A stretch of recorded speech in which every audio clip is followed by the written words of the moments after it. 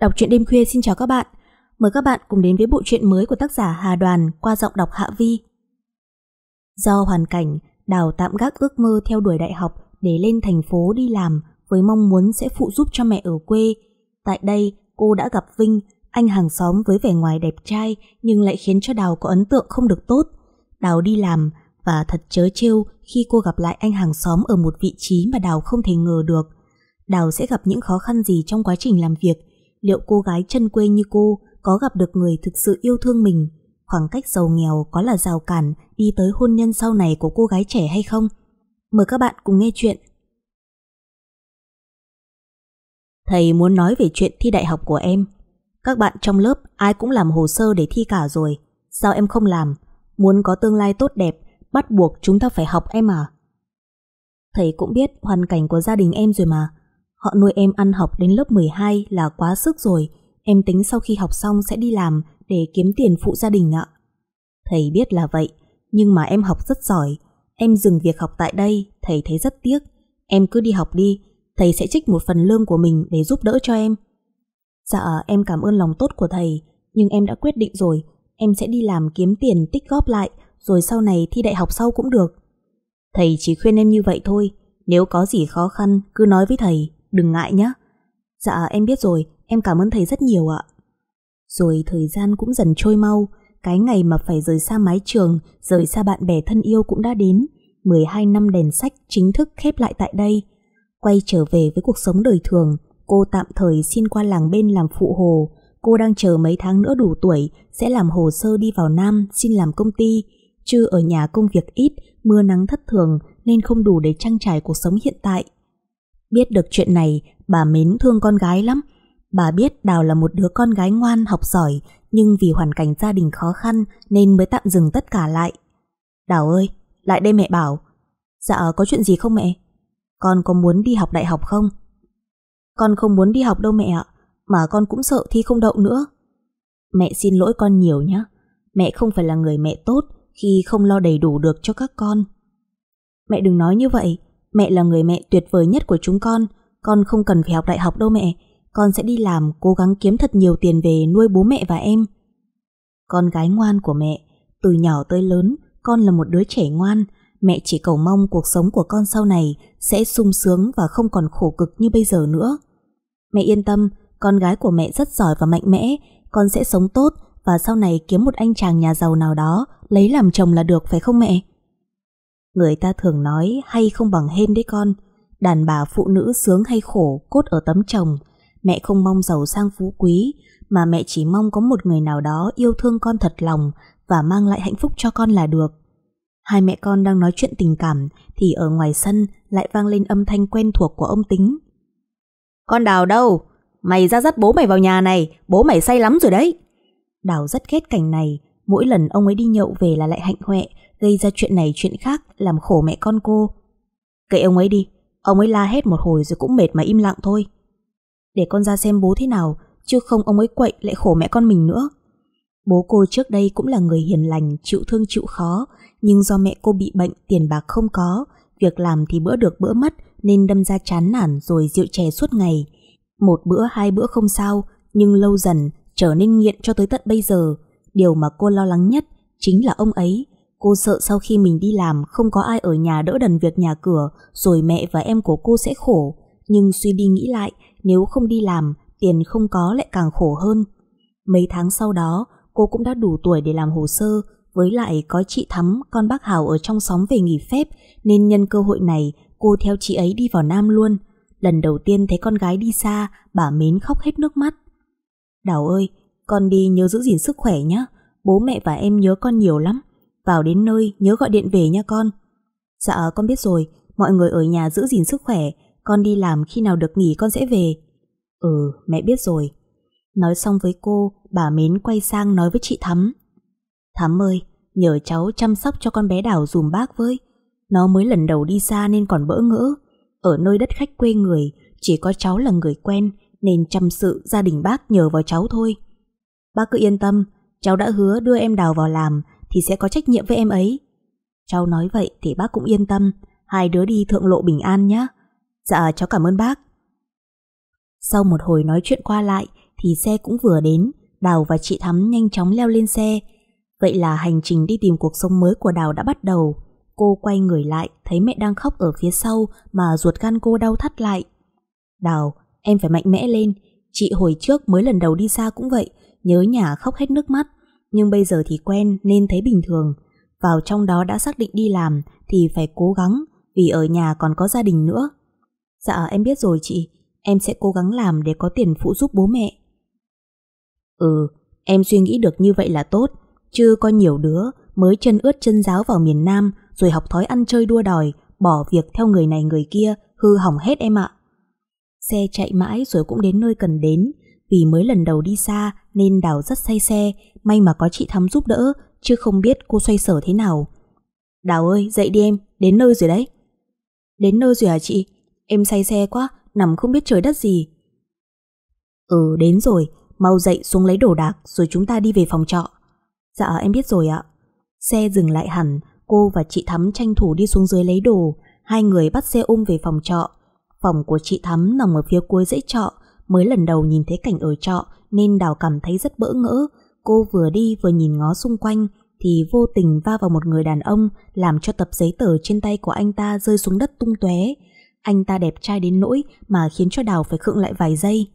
Cô đi đứng cái kiểu gì vậy? Bộ không có mắt hay sao? Tôi xin lỗi anh, tại vì tôi không để ý. Con gái con đứa, đi thì mặt vác lên trời. Đây là ở dãy trọ, chứ ra ngoài đường rồi gây tai nạn giao thông, ai chịu trách nhiệm cho? Tôi đã nói xin lỗi rồi, mà sao anh lại làm quá vấn đề lên như vậy chứ? Anh là đàn ông mà tính tình y chang còn hơn cả đàn bà phụ nữ nữa. Cô làm sai mà còn trả treo à? Nghe tiếng ồn ở ngoài, mấy người ở chung dãy trọ mở cửa phòng ra hóng.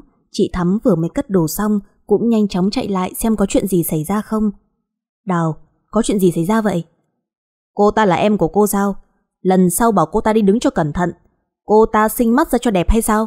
Mà va vào tôi, làm bẩn hết giấy tờ của tôi rồi đây này. Xin lỗi anh, tại em ấy mới ở quê vào nên thấy cái gì cũng lạ, nhìn ngó xung quanh ấy mà. Người đàn ông đó nghe chị Thắm nói xong, anh ta không nói gì nữa, liền một mạch đi về phía trước. Qua sự việc vừa rồi, Đào cảm thấy rất ngại với chị Thắm. Em xin lỗi chị. Có gì đâu mà phải xin lỗi. Anh ta ở đây không chơi với ai trong dãy trọ cả, suốt ngày đóng cửa phòng kín mít, nay chắc bực bội gì trong lòng, nên là gặp em mới kiếm chuyện vậy thôi. Dạ, ở trong này không giống như ở quê mình chị nhỉ, thấy mọi người xa cách quá. Ừ, mà cũng không trách được, ở đây là dân tứ xứ, nên người nào biết người đó thôi, vui thì nói chuyện qua lại, còn không thì đừng đụng chạm tới ai, lại mất lòng mất dạ. Dạ em hiểu rồi, thôi em vào trong cất đồ rồi tắm rửa, lát chị em mình kiếm gì ăn cho đỡ đói. Vì là mới vào nên chị Thắm chưa muốn cho Đào đi xin việc sớm, chị nói cứ ở nhà nghỉ ngơi cho khỏe, rồi sau đi làm sau cũng chưa muộn, chứ mai mốt đi làm rồi là không có thời gian nghỉ ngơi đâu. Nghe lời chị Thắm, Đào cũng ở nhà thêm mấy bữa nữa, cô ăn rồi chỉ biết ở trong phòng thôi, chứ không dám đi đâu vì chưa biết đường xá. Sáng hôm nay, chị Thắm dậy đi làm sớm, chị nói đi ra ngoài ăn sáng nên tranh thủ đi sớm một chút, vì Đào ở quê cũng hay dậy sớm, nên vào đây cứ quen giấc cũng dậy theo chị ấy luôn. Khi chị Thắm vừa mới dắt xe đi thì cái kệ đựng đồ trong phòng bị rơi xuống, ở nhà mấy việc nhỏ như thế này cô đều làm hết, nên thấy vậy cô đi kiếm cái búa và ít đinh để đóng vào. Vừa mới đóng được vài cái, chợt ở ngoài cửa có tiếng bước chân, sau đó là tiếng đập cửa vang lên, cô dừng tay lại ra mở cửa. Hình ảnh của một người đàn ông hôm qua đứng trước mặt khiến cho Đào rất ngạc nhiên. Anh làm gì mà đập cửa phòng tôi vậy? Cô bị hâm hay sao? Mà mới sáng sớm có đóng bùm bụp thế? Cô có biết tôi đang ngủ không? Tôi đóng ở phòng tôi, chưa có đóng ở phòng anh đâu mà anh lại khó chịu chứ. Cô có biết phòng tôi và phòng cô có chung một vách tường không? Tôi tính ngủ thêm một tí nữa để dậy đi làm, mà cô làm cho tôi tỉnh giấc luôn rồi. Cô không ở được thì chuyển đi nơi khác mà ở. Con gái con đứa gì lúc nào cũng thiếu ý thức. Bị anh ta mắng xối xả vào mặt, Đào không biết trả lời sao nữa. Cô tức giận đóng sập cửa rồi lẩm bẩm một mình. Đúng là thằng cha mắc dịch. Loại đàn ông như anh ta thì không có ma nào thèm đâu. Người gì mà khó tính thấy sợ luôn ấy. Tối đến, cô đem chuyện này kể với chị Thắm Chị ấy ngồi một lúc rồi cũng lên tiếng. Mới sáng sớm mà em đóng vậy cũng không được. Ở đây mọi người làm đêm nhiều Nên họ tranh thủ đi làm về là đi ngủ liền. Nên sau này em nhớ chú ý nha. Dạ tại em không biết. Nếu anh ta đi sang nói nhỏ nhẹ Thì em cũng đâu có tức như thế này. Thôi bỏ qua đi. Anh ta cũng vừa mới chuyển đến đây ở được hơn một tháng thôi nên cả dãy trọ cũng chưa hiểu tính cách của anh ta thế nào cả. Vì vậy em cũng đừng đôi co với anh ta rồi lại rắc rối. Hay là ngày mai em đi nộp hồ sơ đi, bạn chị nói công ty may thành đạt đang tuyển công nhân, mà nghe nói công ty đó làm lương cũng cao nữa, với lại công việc cũng ổn định. Vậy thì quá tốt rồi chị, em cũng đang tính xin chị đi nộp hồ sơ để đi làm, chứ ở nhà một mình chán quá. Vậy thì để chị gọi điện thoại, xin tổ trưởng nghỉ một ngày rồi chờ em đi nộp hồ sơ. Dạ vâng, em cảm ơn chị nhiều ạ. Cả đêm, Đào cứ hồi hộp lo lắng. Đây là lần đầu tiên đi làm nên cô suy nghĩ đủ thứ chuyện trên đời. Cô cứ nằm lăn qua lăn lại không thể nào chợp mắt được. Đến khi gần sáng cô mới thiếp đi lúc nào không hay. Đào, dậy chuẩn bị để ăn sáng mà đi xin việc em ơi. Dạ vâng. Đào luống cuống, nhanh chân đi xuống để đánh răng rửa mặt. Xong xuôi mọi thứ, hai chị em ăn tạm gói mì tôm rồi đèo nhau đi.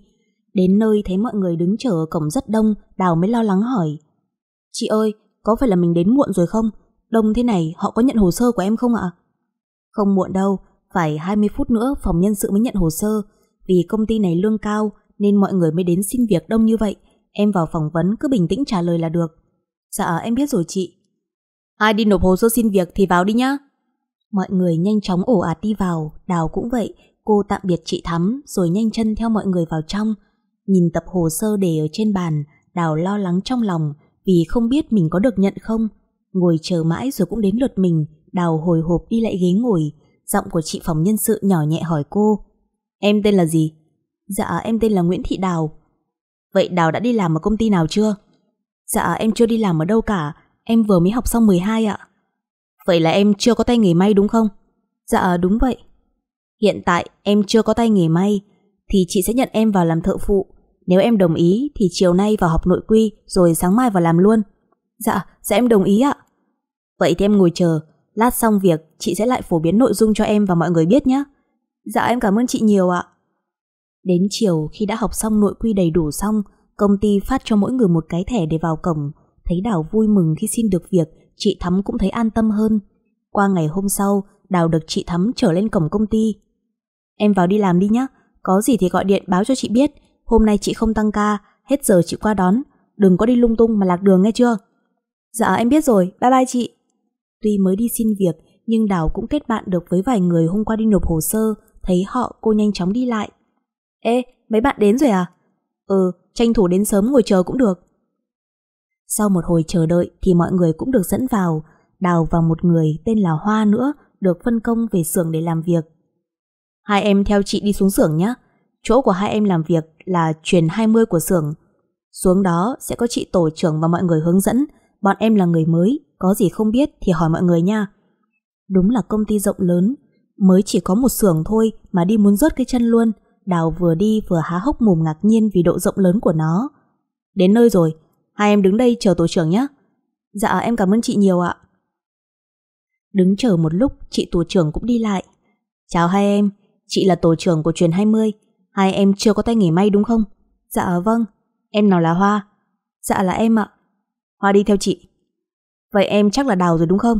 Em đứng đó lát chị quay lại. Dạ vâng. Nói thật là bây giờ cả người của Đào rất run, nhìn mọi người đang làm việc, lâu lâu lại ngước lên nhìn cô như sinh vật lạ, khiến cho cô ngại cứ cúi mặt xuống đất. Đến khi chị tổ trưởng quay lại, Đào mới bớt sợ một chút. Đào, em đi với chị nhé. Đào nhanh chân theo sau chị ấy, chỗ mà cô ngồi làm ở tít cuối chuyển luôn. Em ngồi ở đây nhé, công việc của em không có gì khó. Chờ thợ may may xong, rồi em cắt chỉ sạch sẽ và đi lấy hàng dùm họ thôi. Đào nhìn trước ngó sau, không thấy ai cả nên cô mới hỏi. Vậy người ngồi may ở đây đâu rồi chị? À, anh ấy chắc đang đi vệ sinh, mà anh ấy tên là Vinh nhá. Đào tá hỏa, hóa ra người cô làm chung lại là một người đàn ông. Khoảng tầm 3 phút sau, một bóng dáng quen thuộc từ ngoài đi vào, Đào không thể tin được vào mắt mình, liền lấy tay dụi dụi mấy lần. Ôi trời ơi, là anh ta thật sao? Sao số mình xui dữ vậy chứ? Vinh cũng ngạc nhiên không kém khi thấy Đào ngồi lù lù ở ghế. Cô... cô làm gì ở đây? Một chị ngồi may ở phía trước lên tiếng. Là công nhân mới đấy anh Vinh. Anh Vinh đợt này sướng nhá, có gái đẹp vào cắt chỉ cùng thì chắc may được nhiều hàng lắm đây này. Đào đỏ mặt, cô chỉ biết ngồi im nghe bọn họ nói chuyện. Anh ta nhìn cô một lượt rồi cũng lên tiếng hỏi. Cô mới xin việc vào đây sao? Dạ vâng. Làm với tôi thì phải nghiêm túc. Đừng có cãi nhem nhèm là không được đâu. Tôi may rất nhanh. nên cô cố gắng mà cắt chỉ cho kịp. Nếu không làm được thì cứ lên bảo với chị tổ trưởng xin nghỉ nghe chưa? Cô chưa làm mà anh ta đã nói những lời khó nghe như vậy rồi nên cô cảm thấy rất ghét. Ngay lúc này đây, nếu ai đó cho phép thì chắc là cô đã đứng dậy đấm cho anh ta một cái vào mặt rồi. Nhưng đây là công ty, với lại cô là công nhân mới nên thầm nhủ với lòng là tâm phải tịnh, phải cố gắng làm để có tiền gửi về cho gia đình ở quê nữa. Dạ tôi biết rồi, vì tôi là người mới nên nhờ anh chỉ bảo và giúp đỡ cho tôi với ạ. Anh ta không nói gì, bắt đầu cúi mặt xuống may hàng. Đào vừa làm vừa ngồi suy nghĩ, không ngờ một người như anh ta mà có thể may giỏi như vậy. Ê, lo làm đi, suy nghĩ gì thế? Chắc đang ngồi nghĩ xấu tôi đúng không? Đâu có đâu ạ, tôi đang suy nghĩ mấy chuyện vớ vẩn ấy mà. Đấy, tôi vừa mới nhắc xong, đi làm thì phải tập trung vào công việc, làm mà cứ suy nghĩ như trên mây như vậy, lỡ cắt vào hàng thì sao? Tiếng của anh ta lớn tới mức mà khiến ai cũng phải ngước nhìn, Đào thật sự rất xấu hổ. Anh nói nhỏ có được không? Chứ ở đây họ toàn nhìn tôi không à? Bày đặt mắc cỡ nữa cơ. Thôi, gần đến giờ ăn cơm rồi, đi ra rửa tay, vào ăn cơm đi. Đào nghe lời, thả kéo xuống rồi ra ngoài rửa tay. Khi cô trở vào thì mọi người đi ăn cơm gần hết, thấy Vinh đang đứng đợi cô mới hỏi. Sao anh không đi ăn cơm đi? Anh ta nhăn mặt. Đứng đợi cô để dẫn cô đi cùng, chứ ngơ ngơ như cô biết chỗ nào mà đi. Đào thấy cái mỏ của anh ta hỗn nhưng tâm cũng không đến nỗi. Tôi cảm ơn anh. Không cần cô phải cảm ơn. Đây là nhiệm vụ mà chị tổ trưởng giao cho tôi. Lần sau đi rửa tay thì cũng nhanh một chút, không người ta ăn hết cơm bây giờ. Đào lẩm bẩm, ăn hết thì nhịn một bữa cũng không sao. Cô đang lẩm bẩm cái gì thế? Dạ không có gì. Lúc ra đến nhà ăn, đám bạn của anh ta thấy thì liền gọi. Vinh ơi, bọn tao lấy cơm đây rồi này. Vinh cầm lấy tay cô kéo đi. Lại đầu này ngồi, cơm canh có người lấy sẵn rồi. Thật sự lúc này, Đào không biết phải tả cảm xúc của mình ra sao nữa. Tất cả mọi người trong công ty cứ nhìn chăm chăm vào cô. Ngồi xuống ăn cơm đi.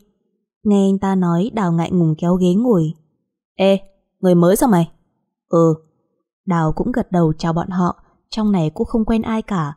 Bây giờ lại ngồi ăn với một đám con trai thế này. Thật sự là cô không hề thấy thoải mái chút nào. Ăn nhiều vào, chứ chiều làm nữa là đói đấy. Cơm ở đây ngon dễ ăn. Đám bạn của Vinh vừa ăn vừa nói chuyện nên còn ngồi lại. Em tên là gì? Dạ em tên là Đào. Đào năm nay bao nhiêu tuổi? Đã có người yêu chưa? Em 18 tuổi, em chưa có người yêu. Vậy là bọn anh có cơ hội rồi, khi nào rảnh đi uống cà phê với bọn anh nhé. Dạ vâng. Cả đám ăn cơm xong, Vinh đưa tay lên xem đồng hồ. Còn gần một tiếng nữa, cô buồn ngủ thì vào lấy cái chiếu tôi để ở góc trải ra làm chỗ mà ngủ. Dạ không cần đâu, tôi đi ra ngoài chỗ bãi cỏ ngồi cho mát cũng được. Tùy cô, lát nhớ đường vào mà làm cho kịp giờ là được. Vâng tôi biết rồi. Đào đứng dậy, đi ra chỗ vòi nước rửa mặt mũi. Công ty này đúng là rộng lớn, công nhân thì đông như kiến. Cô không quen ai cả, đành đi lại một góc rồi lấy dép kê lên ngồi. Đào, làm có ổn không? Nghe tiếng của Hoa Đào mừng rỡ. Ừ, mình làm cũng ổn, còn bạn thì sao? Ổn, nhưng mà vì là người mới vào không quen ai cả nên chán. Lúc đi ăn cơm mình đi tìm Đào nhưng không thấy. À, chắc mình đi rửa tay nên là đến nhà ăn muộn. Vậy ngày mai bọn mình đi ăn chung nhé, dù sao quen biết cũng dễ nói chuyện hơn. Ừ, vậy ngày mai bạn mà đi thì chờ mình với nhé, chúng ta đi ăn chung cho vui. Ok Đào. Đúng là thời gian trôi nhanh, ăn cơm xong vào làm vèo một cái là đến giờ ra về, ai cũng háo hức nói chuyện vui vẻ, Đào giáo giác đưa con mắt tìm kiếm Hoa, nhưng hình như Hoa đã về từ lúc nào rồi. Cô không về, còn đứng đó làm gì nữa? Tôi đang về đây. Vậy có ai chở cô về chưa? Tôi có rồi. Vậy thì tôi về trước đây. Đào im lặng không nói thêm, mặc dù tiếp xúc với anh ta cả ngày hôm nay, nhưng sao mỗi lần nhìn mặt là cô vẫn cảm thấy ghét. Người ta nói ấn tượng khi lần đầu tiên gặp mặt rất quan trọng là như vậy đấy. Cô vừa đi vừa suy nghĩ nên ra đến cổng lúc nào không hay, thấy chị Thắm đứng chờ, cô vui mừng chạy lại. Chị chờ em lâu chưa? Chị cũng vừa mới đến thôi, hôm nay làm có ổn không? Công việc thì cũng ổn, nhưng chị biết là em làm chung với ai không? Trời đất, em hỏi gì mà khó vậy? Em làm với ai làm sao mà chị biết được? Ồ ha, nhưng mà người này em nói ra chắc chị cũng ngạc nhiên lắm đấy. Vậy người này chắc chị cũng quen rồi đúng không? Cứ lên xe ngồi đi, rồi kể cho chị nghe từ từ xem nào. Dạ vâng. Ngồi lên xe là Đào nói liên hồi. Đúng là số em xui xẻo thật chứ, không ngờ làm cùng với em chính là anh ta, người mà ở sát phòng mình hay kiếm chuyện với em ấy chị. Hả? Là anh ta thật sao? Vâng, đúng là oan gia ngõ hẹp. Nhìn anh ta đẹp trai thế kia, em tưởng anh ta làm gì to lớn lắm. ai rẻ là một thợ may. Đúng là trái đất này quá tròn em nhỉ. Vậy em có tiếp tục làm nữa hay là đi xin công ty khác? Không, em làm chứ. Nếu em nghỉ giữa chừng như vậy, anh ta lại có cớ để cười nhạo em. Nhiều khi thấy cái bản mặt của anh ta đáng ghét, nhưng vì công việc nên là em chịu đựng được. Lỡ sau này thân nhau rồi lại nảy sinh tình cảm cũng nên đấy chứ. Chị nói gì mà kỳ thế, dù trên đời này đàn ông biến mất hết, chỉ còn lại em và anh ta, thì em cũng không chịu anh ta đâu. Ai mà nói trước được điều gì, sau này lỡ vụng dại trao nhầm trái tim cho anh ta thì sao? Em sẽ không bao giờ trao nhầm trái tim cho anh ta đâu chị. Trái tim em sẽ dành cho một người đàn ông trung thủy, tính tình hiền dịu và biết thương em thôi. Còn chị thì sẽ dành trái tim này cho một người đàn ông giàu có. Có tiền thì chị sẽ không phải đi làm công nhân và có một cuộc sống vô cùng thoải mái. Hai chị em mình cùng cố gắng nha. Vâng, nhất định là vậy rồi ạ. Vừa đi vừa nói chuyện rôm rả nên đoạn đường về nhà cảm thấy gần hơn mọi hôm. Đến nơi chị Thắm quay lại nói với Đào. Em vào tắm rửa trước đi, để chị ghé vào chợ mua ít đồ ăn đã. Vâng. Đào xuống xe, một mạch đi thẳng về phòng trọ. Lúc đi qua phòng của Vinh, cô tò mò liếc con mắt vào trong nhìn xem anh ta đang làm gì. Này, nhìn gì mà nhìn? Đào hết hồn hết vía, cả khuôn mặt cô đỏ bừng lên vì ngại. Cô cứ tưởng anh ta ở trong phòng, ai dè lại đứng sau lưng cô như vậy. Cô hít một hơi thật sâu, lấy lại bình tĩnh rồi quay mặt lại. Anh bị hâm mà, tôi đâu có nhìn gì đâu, tôi đang đi về phòng của mình mà. Khuôn mặt cô đang tố cáo cô rồi đấy, không làm gì sao mặt đỏ bừng như vậy. Muốn quan tâm tôi thì cứ việc, chứ tôi đâu có cấm cô đâu. Bị anh ta trêu chọc, đào xấu hổ không biết phải giấu mặt vào đâu, cô đưa con mắt lườm anh ta một cái rõ nét. Lêu lêu, có người xấu hổ kìa. Đổ mắc dịch, tôi giết anh luôn bây giờ. Nói xong cô hậm hực bỏ đi về phòng của mình. Thật sự bây giờ đi làm cô cảm thấy rất áp lực, cứ mỗi lần lên công ty thấy cái mặt của anh ta ngồi lù lù một đống là cô cảm thấy ứa gan. Này cô, đi làm mà cái mặt xị ra một đống như vậy. Bộ cô không làm được thì lên xin nghỉ việc đi cho đẹp trời. Chứ ngày nào cũng thấy cô mang khuôn mặt buồn bã ủ rủ đi làm. Tôi thấy mệt cho cô lắm rồi đấy. Rồi tâm trạng của tôi cũng buồn theo. Tôi không may được nhiều hàng, lại bị cấp trên chửi cho thì nhục mặt lắm. Nghe anh ta nói luyên thuyên mà cô bực mình không chịu nổi. Anh không nói, cũng không ai bảo anh bị câm đâu. Đàn ông bớt nói thì sẽ thành đàn ông, còn đàn ông nói nhiều là thành đàn bà đấy. Thành đàn gì cũng được, tôi không quan tâm. Thôi, giỡn cô một chút vậy thôi, giờ vào làm việc đi. Vừa mới làm được một tí thì ở phía bên kia nghe tiếng ồn ào, hình như là cãi nhau gì đó. Vinh rời chỗ làm của mình, nhanh chóng đi sang xem có chuyện gì không. Ê, đồ nhiều chuyện, anh đi đâu thế? Anh ta bỏ qua lời của Đào rồi nhanh chóng chạy đi. Sang đến nơi, thấy Phúc làm bên bộ phận cắt vải, đang bị Lão Thái chửi xối xả vào mặt. Lão là quản lý của xưởng may A này. Lão là một người chuyên bắt nạt và đè đầu cưỡi cổ công nhân ở đây. Nhắc đến Lão, ai cũng căm ghét và thù hằn. Ông Thái, ông làm gì mà chửi cậu Phúc như vậy? Không phải việc của mày, biến về bên kia làm việc ngay đi.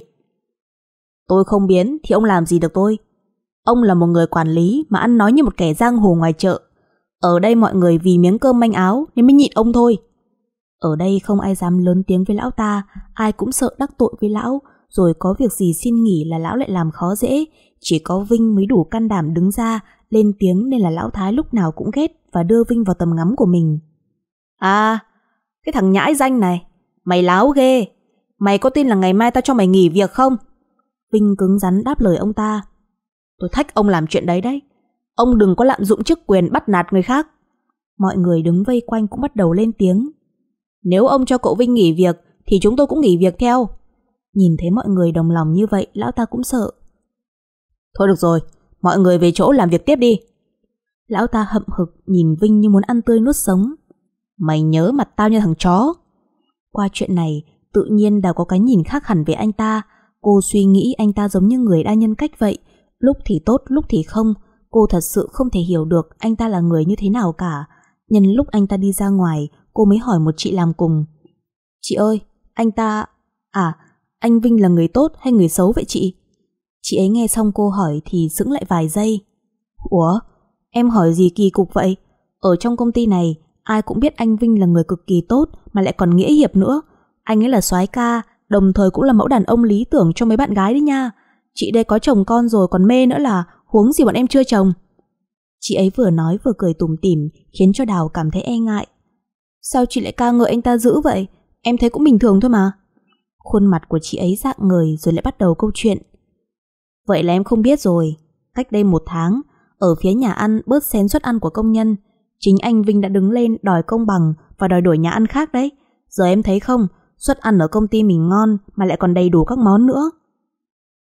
Thật sự Đào cảm thấy ngạc nhiên, nhìn bề ngoài của anh ta lạnh lùng khó ưa như vậy, liệu chuyện này có thật sự đúng không? Chuyện này là thật hả chị? Nhìn anh ta như vậy mà có lòng tốt thật khó tin đấy. Trời ơi, em không tin, có thể đi hỏi mọi người được mà. Thôi em làm việc đi, anh Vinh vào rồi kìa. Đào sợ hãi vội vàng quay người lại, nhìn biểu hiện trên gương mặt của cô, Vinh liền trêu chọc.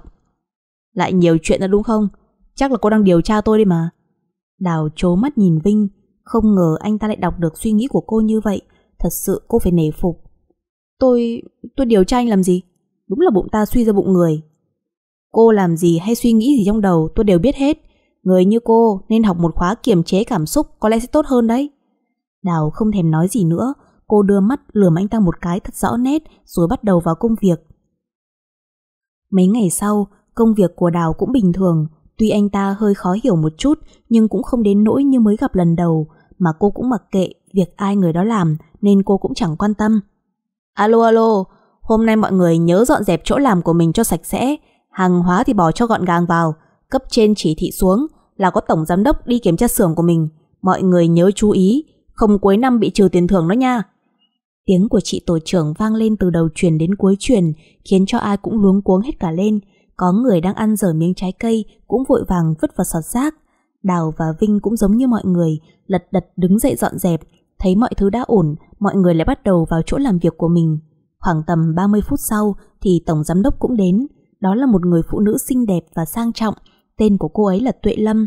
Theo sau cô ấy là Lão Thái và một số người nữa. Tuệ Lâm đi hết một vòng trong xưởng rồi mới ghé lại truyền 20 của Đào. Đúng là người có chức có quyền nhìn là biết liền, vừa đẹp, vừa toát lên vẻ sang trọng khiến ai cũng phải ngước nhìn. Xin chào mọi người. Giọng nói miền Nam đặc trưng, ngọt như miến lùi, được Tuệ Lâm cất lên khiến cho bao người không thể rời mắt. Duy chỉ có Vinh, anh vẫn cặm cụi may hàng, dường như anh không để ý đến sự có mặt của Tổng Giám Đốc. Cô ấy nhìn một lượt rồi cũng nhanh chân đi xuống phía cuối chuyển nơi Đào và Vinh đang ngồi làm việc. Cô ấy lấy hai ngón tay cốc nhẹ vào bàn. Tôi để ý thấy anh làm việc rất hăng say. Công ty trả lương cho tôi thì bắt buộc tôi phải làm thôi. Lão Thái đứng bên cạnh sợ hãi vì thái độ hờ hững của Vinh. Cậu Vinh, cậu có biết đây là tổng giám đốc không? Tôi biết chứ. Xin cô hãy bỏ qua, tính cậu ấy vốn dĩ ngang ngược như vậy. Tôi và cậu ấy cũng nhiều lần cãi nhau vì vấn đề này rồi. Tuệ Lâm không nói gì, cô chỉ cười rồi lướt nhẹ qua mặt của Vinh và đi sang chỗ khác.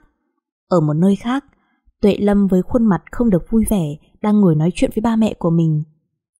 Ba mẹ, mau kêu anh hai về đi, chứ cứ bắt con kiêm hết việc này qua việc khác, con không chịu được đâu. Con đang còn tuổi ăn tuổi chơi, lúc nào cũng phải đập mặt vào mấy đống hồ sơ dày cộp, còn phải ăn nói nhẹ nhàng, ra dáng là một người có chức có quyền. Thật sự điều này con không thích. Ông Hoàng và bà Thu ngồi nhìn đứa con gái yêu rồi lắc đầu. Ba mẹ chưa thấy ai như con. Được làm tổng giám đốc của một công ty to đùng, công việc nặng nhọc thì có ba và anh hai đứng đằng sau lo rồi, vậy mà còn kêu gì nữa. Nhưng mà con không thích, con muốn tử chức, con muốn tiếp tục đi đây đi đó với công việc vẽ tranh của mình. Bà Thu đi lại vuốt tóc con gái. Được rồi, chờ anh hai con một thời gian nữa, con biết tính của anh hai mình rồi mà đúng không? Tuệ Lâm xị mặt. Kỳ này mà anh hai về nhà, con sẽ thuyết phục anh ấy mới được. Ừ, con đừng có lo, ba mẹ sẽ có cách. Một thời gian sau, trong lúc đang ngồi làm, Đào liền nhận được điện thoại của bác cả ở quê. Alo, Đào đi làm hay ở nhà vậy cháu? Dạ, cháu đang đi làm. Vậy cháu xin nghỉ làm ít bữa để về nhà nhé. Bố của cháu bị tai nạn, vừa mới mất xong. Đào nghe xong mà xây sầm đầu óc, những giọt nước mắt của cô bắt đầu rơi xuống đầy hai má. Bố, bố cháu mất rồi hả bác? Ừ, vậy thôi nhá, bác tắt máy để còn lo công chuyện nữa. Đào thả điện thoại xuống như người mất hồn, cô không biết làm gì ngay lúc này nên cứ ngồi đơ ra như vậy. Này, gia đình cô có chuyện gì sao?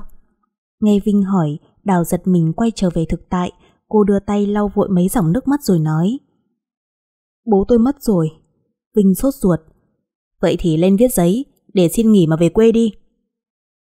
Đào nghe lời Vinh, vội vàng chạy lên xin chị tổ trưởng để nghỉ phép.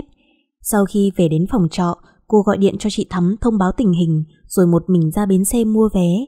Ngồi trên xe, Đào khóc nấc lên không thành tiếng. Mặc dù ở nhà bố cô thường hay đánh đập cô, nhưng nghĩa tử là nghĩa tận. Dù ông ấy có như thế nào thì đối với cô, ông ấy vẫn là một người bố, là người đã sinh ra cô và cho cô có được cuộc sống như ngày hôm nay.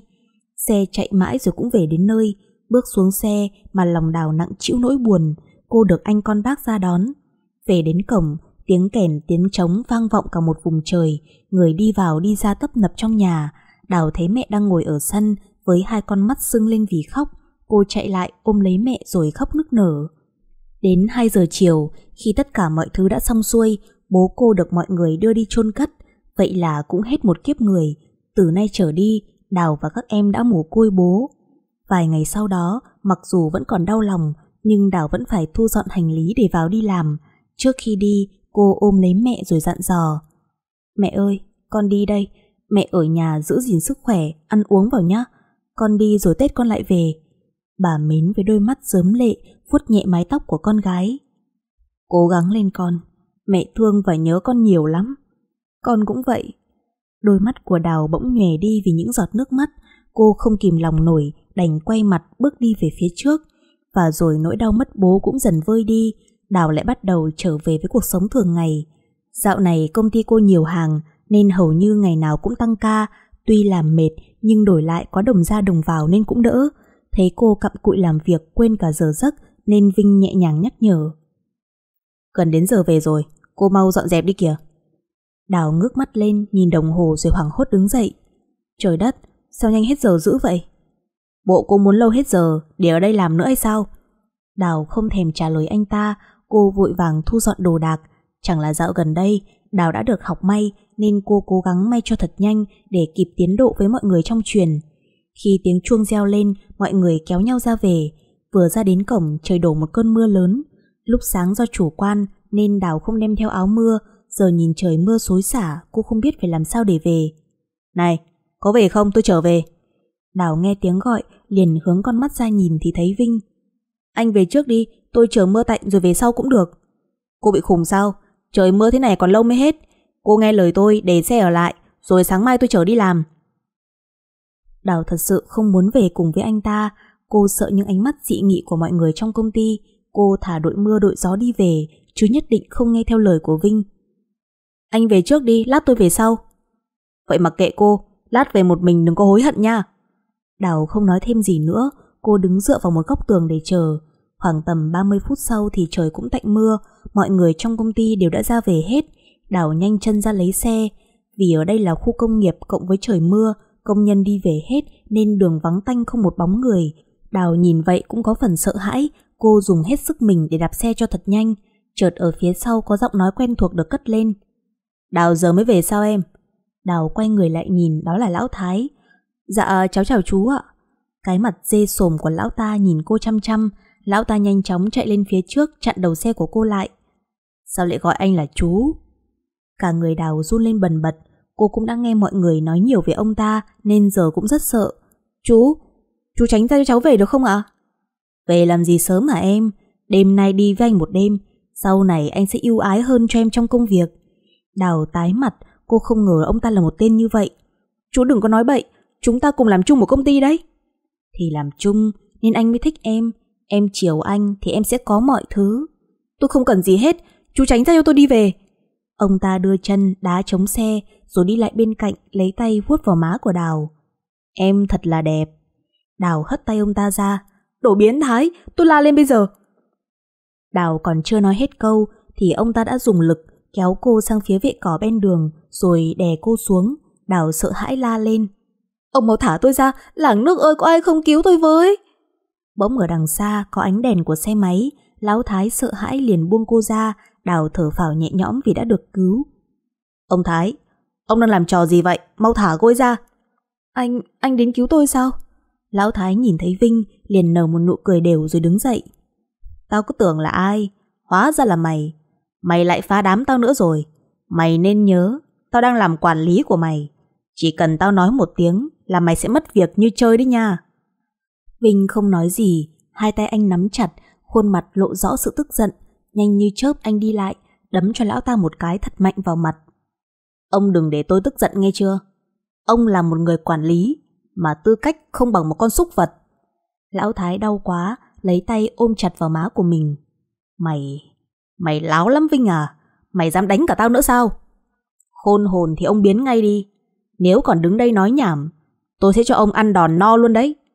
Mặc dù trong lòng rất cay cú, nhưng lão Thái không còn cách nào khác đành ngồi dậy lấy xe đi về. Khi còn lại hai người, Đào mới đi lại nói lời cảm ơn Vinh. Cảm ơn anh nhiều nhé. Cô cảm ơn tôi làm gì? Cô có biết một chút nữa là cô đã không còn gì rồi không? Tôi đã bảo là về với tôi rồi còn cứng đầu cơ. Khuôn mặt của Đào đào bừng lên. Tôi... tôi... Lần sau mà như thế này nữa là tôi không đến cứu nữa đâu nha. Tự nhiên nghe anh ta nói, Đào cảm thấy vui trong lòng. Hóa ra anh ta là một người đàn ông tốt thật sự. Mau đi về thôi, đứng đó suy nghĩ gì nữa. Đào giật mình, vội vàng đi lại dắt xe. Cô đi trước đi, để tôi đi sau bảo vệ cho cô. Người như cô, đúng thật là chán luôn, lúc nào cũng làm cho người khác phải lo lắng. Mặc dù không biết anh ta nói vậy là có ý gì, nhưng Đào lại cảm thấy sao xuyến và hạnh phúc trong lòng. Từ lần đó trở đi, Đào không còn ghét Vinh như trước nữa, mà thay vào đó là một sự biết ơn vô cùng lớn. Cô thường hay nấu món này món kia đem sang cho Vinh ăn cùng. Lâu dần hai người trở nên thân thiết, thấy vậy chị Thắm mới trêu chọc. Bữa nay chị biết rồi nhá, thấy em và anh Vinh thân nhau quá trời. Chị đừng có trêu em, tại vì anh ấy giúp em thoát khỏi khiếp nạn nên là em muốn trả ơn vậy thôi. Có thật là em và anh ta chưa có gì không? Chị thấy anh Vinh thích em hay sao ấy? Chị nói linh tinh thế, người khác nghe được lại cười em bây giờ. Cười cái gì mà cười, trai chưa vợ gái chưa chồng, yêu nhau có gì đâu mà lạ. Chị thấy càng tiếp xúc với anh Vinh, càng thấy anh ta đẹp mà dễ thương nữa. Hay là chị yêu anh ta đi? Chị thắm lấy tay nhéo mạnh vào người của Đào. Bị khùng à, chị đâu dám trèo cao. Với lại chị cũng có người yêu rồi, anh ấy bảo cuối năm này đem chị về ra mắt. Trời đất, chuyện này là thật hả chị? Sao không thấy chị nói gì về chuyện này? Bí mật mới thú vị chứ, để khi nào rảnh, chị dẫn anh ấy về ra mắt với em. Chị hứa rồi nhá, em rất muốn biết mặt anh rể thế nào đấy. Ok em, em sẽ biết vào một ngày sớm nhất. Rồi thời gian cũng trôi nhanh, do bên nhà người yêu của chị Thắm dục nên hai người họ phải tiến hành đám cưới sớm hơn cả dự định. Chị Thắm theo chồng về quê, còn lại một mình Đào ở đây làm việc. Này Đào, cô ở một mình có buồn không? Nghe Vinh hỏi Đào liền trả lời. Buồn chứ, anh biết vậy mà còn hỏi. Vinh nheo mắt trêu chọc. Hay là cô chuyển sang ở với tôi cho đỡ tiền phòng? Anh bị khùng à? Tôi nói thật chứ có bị khùng đâu. Không khùng mà nói như vậy được hả? Vinh vừa cười vừa nói.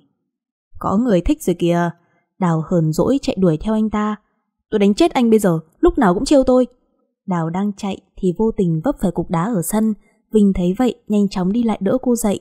Lần đầu tiên chạm mặt với Vinh, trái tim Đào cứ đập liên hồi, mùi thơm quyến rũ trên cơ thể của anh ta khiến cho Đào cảm thấy rất dễ chịu. Cô làm gì mà nhìn tôi dữ thế? Bộ cô thích tôi rồi phải không? Nghe anh ta nói như vậy, hai má của Đào đỏ bừng lên, cô lấy tay đẩy anh ta ra rồi nói Anh đang lợi dụng để ôm tôi thì có, tránh ra cho tôi còn về phòng. Vinh nhìn cô đắm đuối. Em rất đẹp. Đào quay lại lườm anh ta, cô biết tính anh hay giỡn nên cô cũng chẳng để ý đến. Anh bị khủng nặng rồi, đi khám bác sĩ đi. Vinh nhìn theo bóng lưng của cô cười tủm tỉm. Tối đến, trời bắt đầu đổ một cơn mưa lớn, bên ngoài sấm chớp đùng đùng, Đào sợ hãi ngồi thu mình vào một góc, cái cảm giác một mình rất tồi tệ. Cô ước gì bây giờ đang được ở quê để cùng với mẹ và hai em ngồi quây quần bên bếp lửa nướng củ khoai củ sắn. Đang miên man trong dòng suy nghĩ thì một tiếng nổ lớn khiến cho Đào giật thót tim và sau đó phòng của cô rơi vào tình trạng tối thui do mất điện. Đào mò mẫm trong bóng tối để đi tìm đèn pin. Đào ơi, em có ổn không? Mở cửa cho tôi vào với. Đó là tiếng của Vinh, anh ta vừa đập cửa vừa la hét ở bên ngoài. Ở bên trong, Đào vẫn chưa tìm được đèn pin. Anh sang đây làm gì vậy? Tôi ở một mình, trời mưa nên sợ. Đào ở trong bật cười, anh ta lớn xác thế kia mà bày đặt sợ thì cũng hơi lạ. Có khi nào anh ta đang muốn giở trò với cô không? Anh lại giả bộ để lừa tôi phải không? Giọng nói của anh ta có phần gấp gáp hơn. Tôi nói thật đấy, em mong mở cửa cho tôi vào với. Đào hơi lưỡng lự, nhưng nghĩ đến ân tình của anh ta đã cứu mình nên cô nhanh chân ra mở cửa. Cánh cửa mở ra, Vinh với chiếc đèn pin trên tay, khuôn mặt của anh ta tái mét, cả người run lên bần bật vì sợ. Anh bị sao vậy? Tôi mắc chứng sợ bóng tối. Có đèn pin rồi, mắc gì anh sợ nữa? Vinh run rẩy. Nhưng mà tôi vẫn sợ, em cho tôi vào phòng của em với nhá. Nhìn anh ta thế này, Đào không nỡ lòng từ chối. Vậy anh vào trong đi. Cảm ơn em. Đào nhìn anh ta không thể nhịn được cười. Trời đất, đàn ông con trai, sợ bóng tối nghe mắc cười quá. Em cười cái gì? Đó là một căn bệnh, em không biết sao. Vinh đang nói thì chiếc đèn trên tay vô tình rơi xuống đất, hình như là bị chập nên chiếc đèn không sáng nữa. Sợ quá. Nghe anh ta nói, Đào chạy nhanh lại bên cạnh. Đào ơi, tôi sợ quá, em có thể ôm tôi được không? Sao được chứ, người ta nói nam nữ thụ thụ bất thân mà. Nhưng mà tôi rất sợ, em ôm tôi một chút thôi, tôi sẽ cảm thấy dễ chịu hơn, còn không là tôi sẽ xỉu ngay bây giờ. Đào không còn sự lựa chọn khác, cô vòng tay ra, ôm trọn cơ thể của anh ta vào lòng. Lần đầu tiên tiếp xúc gần với một người đàn ông khiến cho tâm trạng của cô thật rối bời, cô cảm nhận được hơi ấm từ người của Vinh tỏa ra. Nghe giọng nói nhỏ nhẹ của anh ta làm cho Đào có chút rung động. Cô không hiểu là bản thân mình đang muốn gì, nhưng cô cảm thấy hạnh phúc khi ở gần Vinh như vậy. Ngoài trời, mưa vẫn còn đang rơi tí tách, bất chợt Vinh đưa tay lên, kéo đầu cô xuống sát với mặt của mình. Đào, tôi thích em. Lúc này, Đào như ý thức được chuyện gì nên là vội vàng buông Vinh ra. Anh đang nói cái gì vậy? Tinh không trả lời, anh bất ngờ đặt lên môi cô một nụ hôn, khiến cho tâm trí của cô không được tỉnh táo. Cô bắt đầu đón nhận nụ hôn ấy. Em hãy cho anh cơ hội, được ở bên cạnh chăm sóc cho em nhé. Đào im lặng một lúc rồi trả lời. Anh đang nói giỡn tôi đúng không? Anh nói thật, anh đã thích em từ cái nhìn đầu tiên. Em là người con gái mà anh muốn gắn bó suốt đời. Em cho anh cơ hội nhé. Đào không nói gì thêm, bởi vì trái tim của cô cũng đã thích anh. Em không nói gì, có nghĩa là em đồng ý rồi đúng không? Đào lấy tay dí vào chán của Vinh. Anh không sợ bóng tối nữa sao? Vinh cười. Anh không sợ nữa vì đã có em ở đây rồi. Kể từ cái đêm mưa định mệnh ấy, Đào và Vinh trở thành một đôi. Vinh quan tâm chăm sóc cô từ những việc nhỏ nhất. Người trong công ty ai cũng biết hai người đang dành tình cảm cho nhau nên ra sức trêu đùa. Đào mới vào mà được anh Vinh để ý và dành tình cảm là nhất rồi đấy. Hai má Đào đào ửng lên khi nghe mọi người nhắc tới vấn đề này. Các chị cứ trêu đùa, bọn em chỉ là bạn bè thôi. Bọn chị không tin đâu. Vừa đúng lúc Vinh đi vào. Em và Đào đang yêu nhau, mọi người mai mốt nhớ đi đám cưới của tụi em nhé. Trời đất ơi, anh nói gì mà kỳ vậy, mọi người hiểu lầm bây giờ. Hiểu lầm gì? Anh đang đánh dấu chủ quyền của mình đấy chứ, phải không mọi người? Mọi người vỗ tay ủng hộ. Đúng vậy, cưới vợ phải cưới liền tay, chớ để lâu ngày lắm kẻ dèm pha đó anh Vinh. Vinh nghe mọi người nói thì hạnh phúc, đưa con mắt sang nhìn Đào, anh ghé vào tai cô nói nhỏ. Tối đi cà phê, hẹn hò xíu nhé vợ yêu. Đào thẹn thùng quay mặt đi chỗ khác. Tối đến, Đào chọn một chiếc đầm màu hồng, tô điểm nhẹ một chút son và phấn, ngắm đi ngắm lại mình trong gương thêm một lần nữa, rồi mở cửa bước ra ngoài. Vừa nhìn thấy Đào bước ra, Vinh phải đứng hình vài giây vì sự xinh đẹp của cô. Anh làm gì mà nhìn em dữ vậy? Bộ trên mặt em dính thứ gì sao? Vì em quá đẹp, anh không thể rời mắt được. Dẻo miệng, lúc nào cũng khen em đẹp là sao? Thì em đẹp thật nên anh mới khen chứ. Lên xe đi, anh chở em tới quán cà phê đẹp nhất ở đây để cho em biết. Thôi, anh chở em đi quán cà phê bình thường được rồi. Đi quán sang mắc tiền, không có tiền trả đâu. Em không phải lo, anh có tiền. Chúng ta phải sống tiết kiệm, làm công nhân lương ba cọc ba đồng, sau lỡ lập gia đình không đủ chi tiêu đâu anh. Vậy có nghĩa là em đồng ý làm vợ của anh rồi đúng không? Em không phải lo gì hết, anh sẽ cố gắng cho em có một cuộc sống đầy đủ nhất có thể. Đào đưa tay ôm lấy eo của anh rồi tựa đầu vào lưng mà thủ thỉ. Ở bên cạnh anh, em thấy bình yên quá. Em không cần một cuộc sống giàu sang, em chỉ cần chúng ta làm đủ ăn đủ mặc và luôn ở bên nhau thế này là đủ rồi. Vậy chúng ta cùng cố gắng em nhé. Hai người vừa đi vừa tâm sự nên đến nơi lúc nào không hay. Ở đây đẹp quá anh ạ. Ừ, quán này nổi tiếng đấy, em vào trong đi, để anh đi cất xe đã. Vâng. Hai người đi vào trong quán, tìm một chỗ thích hợp để ngồi. Không gian quán sang trọng cộng với tiếng nhạc du dương khiến cho trái tim của hai người rất phấn khích. Vinh cầm lấy tay Đào rồi nói Ở đây em có thích không? Dạ thích. Vậy thì ngày nào anh cũng chở em tới đây được không? Nếu mà đến đây thường xuyên thì một tháng lương của anh không đủ đâu. Kệ chứ, miễn em thích là được. Bỗng ở bàn đối diện, một cặp nam nữ bước vào, Đào nhìn thấy rất quen. Anh ơi, em thấy chị ấy rất quen, hình như là em gặp rồi thì phải. Vinh nghe cô nói thì quay người lại nhìn, khuôn mặt của anh bỗng tái mét rồi nói với cô. À, tự nhiên anh đau bụng quá, em ngồi đây, anh đi vệ sinh một chút. Đào chưa kịp nói gì thì Vinh đã đứng dậy đi nhanh. Khi còn lại một mình cô mới vận động não để suy nghĩ. À, nhớ ra rồi, cô ấy chính là Tuệ Lâm, tổng giám đốc của công ty mình đấy mà. Do bữa hôm ở công ty, nhìn cô ấy ăn mặc và trang điểm hơi khác nên Đào không kịp nhận ra. Cô đang tính trong đầu để qua chào hỏi một chút thì tiếng chuông điện thoại reo lên là số của Vinh gọi, cô vội vàng ấn nghe máy. Em đi ra chỗ cổng rồi chúng ta đi về nhé. Anh đang ở nhà xe, anh đau bụng quá nên về mua thuốc uống xem đỡ không, bữa khác rồi anh bù cho em sau. Đào lo lắng cất điện thoại vào túi chạy một mạch ra cổng. Anh có đau lắm không? Vinh nhăn mặt. Anh đau lắm, chắc là do hồi chiều ăn trúng cái gì rồi.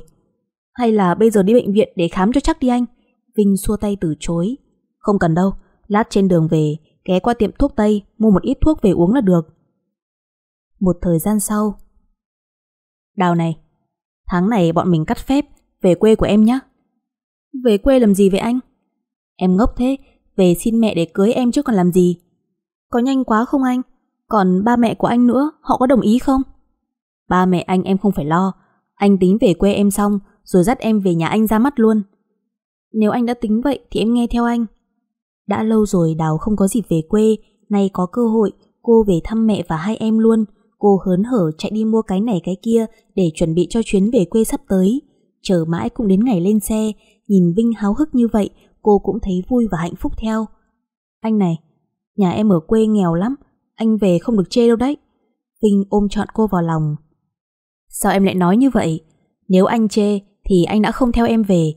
Tình yêu của anh dành cho em là thật, nên là em không được suy nghĩ gì hết nghe chưa? Sau một khoảng thời gian ngồi trên xe, cuối cùng Vinh và Đào cũng đã về tới nhà. Bà Mến cùng với mọi người tất bật chuẩn bị mọi thứ để chào đón chàng rể tương lai. Cháu chào bác và mọi người, cháu tên là Vinh, là người yêu của em Đào ạ. Lần đầu tiên nhìn thấy anh, bà Mến cùng với mọi người không thể ngờ được là Đào lại có thể quen được một người đàn ông tuyệt vời như vậy. Ôi chào, người yêu cái Đào đẹp trai quá. Từng lời khen của mọi người dành cho Vinh làm cho Đào cảm thấy hãnh diện và hạnh phúc. Vinh nhìn Đào rồi nheo mắt trêu chọc. Bước đầu ra mắt vậy đã ổn cho cô nương. Đào nhìn anh với con mắt đầy sự yêu thương. Chưa chắc đâu, phải qua mấy vòng nữa mới đạt chuẩn. Anh sẽ cố gắng hết sức. Qua mấy ngày tiếp xúc trực tiếp với Vinh, bà Mến rất quý và hài lòng về thằng con rể quý. Biết là mình đã được chọn nên Vinh mạnh dạn mở lời xin phép bà Mến. Cháu xin phép bác được nói đôi điều ạ. Có gì cháu cứ nói đi. Dạ, cháu và Đào cũng đã có một thời gian yêu và tìm hiểu nhau. Cháu thật lòng yêu em ấy. Hôm nay cháu về đây, muốn xin bác cho cháu được cưới em ấy làm vợ ạ. Bà Mến quay sang dò xét thái độ của con gái. Ý con sao? Dạ, con tùy mẹ quyết định. Nhìn rõ được tấm chân tình của Vinh, bà Mến liền đồng ý. Nếu hai đứa yêu thương nhau thật lòng, thì bác sẽ đồng ý cho hai đứa lấy nhau. Nhưng chuyện cưới hỏi là chuyện lớn, nên phải có gia đình hai bên nói chuyện đàng hoàng mới được. Vinh mừng rỡ. Dạ, cháu sẽ dẫn ba mẹ của cháu về đây, nói chuyện đàng hoàng với bác ạ. Ừ, như vậy thì bác yên tâm rồi. Ở thêm mấy ngày nữa thì Vinh có điện thoại ở Sài Gòn gọi ra, anh bảo có việc cần phải giải quyết nên vào Sài Gòn sớm hơn dự tính. Đào ơi, em ở lại chơi với mẹ ít ngày nữa, anh có việc nên vào trước nhé. Đào lo lắng. Có việc gì mà gấp vậy anh? Em không phải lo đâu, mấy việc linh tinh ấy mà, có gì vào Sài Gòn chúng ta gặp nhau sau. Dạ anh cứ vào trước, em ở lại chơi với mẹ ít ngày nữa cũng được. Đúng là thời gian trôi nhanh, nhoáng một cái cũng đã đến ngày đào sách vali đi, cô xúc động nhìn mọi thứ rồi cũng rời đi trong nước mắt. Cả ngày ngồi trên xe, cô gọi cho Vinh mấy cuộc nhưng anh luôn trong tình trạng thuê bao. Linh tính có chuyện chẳng lành nên vừa xuống xe, cô nhanh chóng bắt xe ôm về phòng trọ. Lúc đi qua phòng của Vinh, cô thấy bà chủ nhà trọ đang dọn dẹp ở trong. Nhìn vào thấy căn phòng của anh trống trơn, cô ngạc nhiên hỏi. Bác ơi, sao phòng của anh Vinh lại trống trơn như vậy ạ? Đã có chuyện gì xảy ra rồi phải không ạ? Bà chủ nhìn cô với ánh mắt nghi ngờ. Ủa, cháu không biết là cậu Vinh chuyển phòng à? Hôm qua cậu ấy đến bảo trả phòng để chuyển đi nơi khác. Đào không thể tin được những gì mình vừa nghe thấy nên hỏi lại thêm một lần nữa. Có sự nhầm lẫn gì ở đây không ạ? Sao anh lại chuyển đi đột ngột như vậy chứ? Sao mà nhầm được? Cậu ấy bằng da bằng thịt, chứ có phải bằng không khí đâu mà tôi nhầm. Cậu ấy còn bảo nếu gặp cô thì cho cậu ấy gửi lời xin lỗi. Cả người đào bây giờ run lên từng hồi dữ dội. Cô không hiểu là chuyện gì đang xảy ra ở đây nữa. Cô không thở được, liền ngồi bệt xuống nhà rồi khóc nức nở. Có khi nào Vinh là một gã sở khanh đang lừa cô không? Cả đêm hôm đó, cô không tài nào chợp mắt được. Cô gọi điện thoại cho mấy người trong công ty để hỏi về Vinh, nhưng không một ai biết cả. Cô không hiểu vì sao anh ta lại biến mất một cách kỳ lạ như vậy. Trái tim cô rất đau, đau như có ai sát muối vậy. Có thể nói, Vinh là người đầu tiên cô đem lòng yêu tha thiết. Không ngờ anh ta lại giả dối, trêu đùa cô một cách quá đáng như vậy. Qua ngày hôm sau, Đào đi làm với tâm trạng rất nặng nề. Cô hy vọng Vinh vẫn còn làm ở công ty, nhưng sự thật phũ phàng đã khiến cho Đào rất tuyệt vọng và sốc toàn tập khi chị tổ trưởng thông báo sáng nay Vinh đã xin nghỉ việc luôn. Đào ơi, em và anh Vinh xảy ra chuyện gì phải không? Sao anh ấy lại nghỉ việc đột ngột thế kia? Đào với đôi mắt đẫm lệ ngước lên nhìn mọi người. Em cũng không biết, từ bữa về quê vào đến giờ, anh ấy cắt đứt liên lạc với em luôn. Có tiếng xì xào của mấy người xung quanh. Kiểu này là gặp sở khanh rồi, con người ta không thể nhìn bề ngoài mà đánh giá được. Không ngờ một người như anh Vinh lại là một kẻ lừa đảo trắng trợn tới như vậy. Mọi người càng nói, trái tim của Đào lại càng đau. Người hiểu thì họ động viên an ủi cô, còn kẻ không hiểu thì họ lại dèm pha, chế giễu cô đủ kiểu. Thật sự lúc này, cô không còn đủ sức để làm việc nữa. Cô tính làm hết tháng này sẽ xin nghỉ việc và chuyển công ty khác. Vài ngày sau đó, chị tổ trưởng có thông báo là chuẩn bị công ty có tổng giám đốc mới. Mọi người trong xưởng ai cũng hớn hở chào đón. Riêng một mình Đào cô không mấy quan tâm. Đào, em không lo dọn dẹp đi. Lát tổng giám đốc đến kiểm tra xưởng của mình đấy. Dạ em biết rồi. Biết rồi thì làm nhanh đi. Không là để tổng giám đốc không hài lòng là xưởng mình bị trừ điểm đấy. Cô nghe mọi người bàn tán là vị tổng giám đốc này rất trẻ tuổi và tài năng. Anh là con trai của chủ tịch trong công ty. Trong công ty chưa một ai biết mặt vị này, kể cả lão thái quản lý của xưởng. Đúng 9 giờ, lão thái và chị tổ trưởng chạy ngược chạy xuôi, thông báo là tổng giám đốc đã đến công ty và nhắc nhở từng người phải làm cho tốt phần việc của mình. Sự xuất hiện của vị tổng giám đốc trẻ tuổi đã khiến cho bao người phải há mồm ngạc nhiên. Có người còn không tin vào mắt mình, liền lấy tay dụi đi dụi lại mấy lần để nhìn cho rõ. Trời đất quỷ thần ơi! Sao tổng giám đốc lại giống anh Vinh truyền của mình như vậy? Các bà có thấy vậy không hay là tôi nhìn nhầm? Mọi người đều dừng tay đồng thanh nói. Đúng đúng, sao mà giống dữ vậy? Đào đang cặm cụi may hàng, nghe mọi người bàn tán xôn xao, cô cũng ngước mắt lên để nhìn. Hình ảnh vị tổng giám đốc trẻ tuổi đập vào mắt cô, đi bên cạnh là khuôn mặt tái mét của lão thái và chị tổ trưởng. Cô tưởng là mình nhìn sai nên cố dụi mắt để nhìn cho rõ hơn. Sao, sao lại như vậy được chứ? Vị tổng giám đốc với hình hài là Vinh nhưng thần thái và cách ăn mặc thì khác hẳn. Giờ đây mọi người ai cũng hoang mang, không biết điều gì đang xảy ra ở đây. Xin chào mọi người, tôi tên là Nguyễn Thành Vinh, tổng giám đốc mới của công ty. Chắc mọi người ở đây ai cũng biết tôi rồi đúng không? Tôi mong mọi người hãy cố gắng làm việc để đưa công ty lên một tầm cao mới. Khi nghe anh ta cất giọng nói, mọi người không còn nghi ngờ gì nữa. Vị tổng giám đốc này chính là Vinh, người đã cùng họ làm việc suốt một thời gian dài. Đào chết lặng, giờ thì cô đã hiểu vì sao Vinh lại biến mất một cách kỳ lạ như vậy. Giờ đây cô và anh có một khoảng cách rất lớn. Anh là tổng giám đốc của một công ty lớn, còn cô chỉ là một đứa công nhân nghèo hèn thì làm sao mà với tới được. Cả ngày hôm đó, Đào như người mất hồn, đúng là trên đời này chuyện gì cũng có thể xảy ra. Tự nhiên cô thấy mình giống như một con rối trong mắt của anh, cô còn mộng tưởng về một gia đình hạnh phúc với anh nữa cơ chứ. Vừa làm vừa suy nghĩ, nên hết giờ làm lúc nào không hay, mọi người kéo nhau ra về hết, chỉ còn lại một mình cô. Lúc đi ra lấy xe có mấy người ác ý thì thầm với nhau. Các bà có biết con bé đó không? Nghe nói nó là người yêu của anh Vinh. À quên, tổng giám đốc của công ty mình, nhưng bị tổng giám đốc bỏ không một lời từ biệt. Ừ, tôi cũng nghe mọi người nói, nghèo mà còn thích trèo cao các bà nhỉ. Đào nghe họ nói xong mà chua xót trong lòng, cô cũng giống họ, cô đâu biết Vinh là một tổng giám đốc đâu, mà nỡ lòng nào họ lại nói cô như vậy. Cô nở một nụ cười chua chát rồi bước đi về phía trước. Trời hôm nay âm u đến lạ thường, đến cả ông trời cũng không ủng hộ cho cô, thì nói gì tới mọi người cơ chứ. Vừa mới đạp xe được một đoạn thì một giọng nói quen thuộc được cất lên, trái tim Đào như vỡ òa từ giây phút ấy. Đào ơi, anh ở bên này. Đào đưa con mắt hướng sang phía bên đường, hình ảnh của Vinh hiện ra trước mặt, trên tay anh cầm một bó hoa hồng đỏ thắm, loại hoa mà cô rất thích. Đào khựng lại vài giây vì sự xuất hiện bất ngờ này, nhưng sau đó cô nhanh chóng đạp xe về phía trước, cô đang chạy trốn chính mình, Cô không cho phép bản thân mềm lòng trước người đàn ông ấy thêm một lần nào nữa. Vinh thấy vậy nên đuổi theo cô. Đào ơi, cho anh xin lỗi, anh biết là mình sai rồi, em tha thứ cho anh nhé. Đào khóc nấc lên. Anh về đi, anh theo em làm gì nữa? Hai chúng ta bây giờ là hai thế giới khác biệt, anh có hiểu không? Tình yêu mà anh dành cho em là thật, anh muốn được lấy em làm vợ. Đào hét lên. Anh thật là xấu xa. Anh biến em thành trò cười cho mọi người như vậy chưa đủ sao? Anh bây giờ là một tổng giám đốc của một công ty lớn. Ở bên cạnh anh thiếu gì phụ nữ mà anh lại trêu đùa em như vậy chứ? Vinh đi lại ôm lấy Đào rồi siết chặt. Anh không trêu đùa em. Việc anh làm thợ may một thời gian cũng là để hiểu được công việc của mọi người, để từ đó anh sẽ thực hiện tốt vị trí mới của mình. Anh đã xin phép ba mẹ anh để được thực hiện điều đó. Anh xin lỗi vì đã không nói cho em biết trước điều đó. Đào cố gắng gỡ tay của Vinh ra.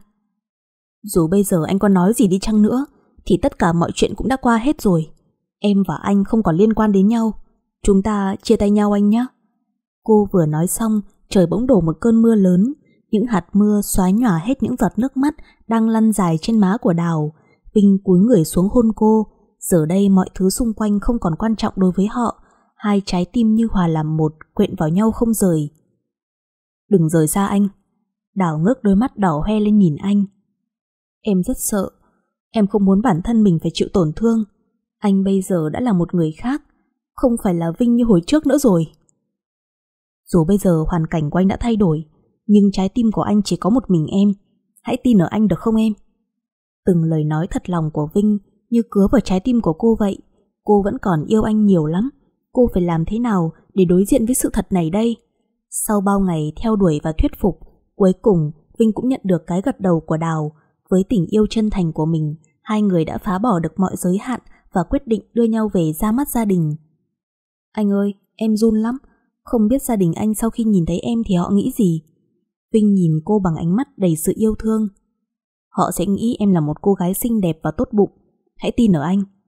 Đào hít sâu một hơi, cô lấy lại bình tĩnh rồi nắm lấy tay Vinh và rời đi. Đến nơi, thấy một căn biệt thự nguy nga tráng lệ hiện ra trước mắt, Đào phải đứng hình mất vài giây, cô không ngờ là nhà anh lại giàu tới như vậy. Trong người cô bây giờ là cảm giác tự ti và sợ hãi. Hay là chúng ta đi về, rồi bữa khác tới sau được không anh? Vinh siết chặt bàn tay của cô lại nói. Anh hiểu cảm giác lúc này của em. Ba mẹ anh đang chờ chúng ta ở trong. Tất cả mọi chuyện đã có anh lo. Em cố gắng lên. Mặc dù đôi chân không muốn bước, nhưng vì Vinh nên cô phải can đảm thử một lần. Ra đón cô và Vinh là một chị giúp việc. Dạ thưa cậu, thưa cô. Ông bà chủ đang đợi hai người ở trong. Cảm ơn gì nhiều. Vốn sống trong hoàn cảnh nghèo khổ thiếu thốn, nên khi nhìn thấy ngôi nhà rộng lớn thế này, Đào cảm thấy choáng ngợp, lồng ngực cô có chút hơi khó thở vì hồi hộp và lo lắng. Càng đi sâu vào bên trong, độ giàu có của ngôi biệt thự càng hiện rõ. Ở phòng khách, ba mẹ của Vinh đang ngồi chờ sẵn ở bàn. Lúc này đây, cả người của cô run lên từng hồi dữ dội. Cô nhìn thấy hai người họ liền lễ phép cúi đầu chào. Cháu chào hai bác ạ. Ba của anh với giọng nói trầm ấm, mái tóc đã điểm mấy sợi bạc, nhìn cô một lượt rồi nói. Cháu ngồi xuống ghế đi. Đào lễ phép đáp lời. Dạ cháu cảm ơn bác. Còn mẹ của anh, một người phụ nữ đẹp sắc sảo, đôi môi được đánh một lớp son màu đỏ. Bà ấy cười để lộ hai hàm răng trắng tinh, nhìn rất đẹp và sang chảnh. Đào bây giờ có cảm giác như mình bị thu nhỏ lại một góc. Cháu tên là gì? Nghe mẹ của anh hỏi, Đào giật mình quay trở về thực tại. Dạ cháu tên là Đào. Vậy ba mẹ cháu có khỏe không? Dạ, bố cháu mất rồi, chỉ còn lại mẹ thôi. Vậy à, cho bác xin lỗi vì bác không biết. Đào và mọi người đang nói chuyện thì ở phía cầu thang xuất hiện hình bóng của một người. Đào vừa nhìn thấy cô đã chợt nhận ra, đó là Tuệ Lâm, vị tổng giám đốc trước đó của công ty cô đang làm. Anh hai, anh về lúc nào mà không báo cho em biết vậy? Tuệ Lâm nói xong, vô tư đi lại, ngồi bên cạnh anh Vinh. Hai tay của cô ta khoác vào tay của Vinh một cách thân mật. Vinh gỡ tay cô ta ra. Tuệ Lâm, em không thấy là nhà có khách sao?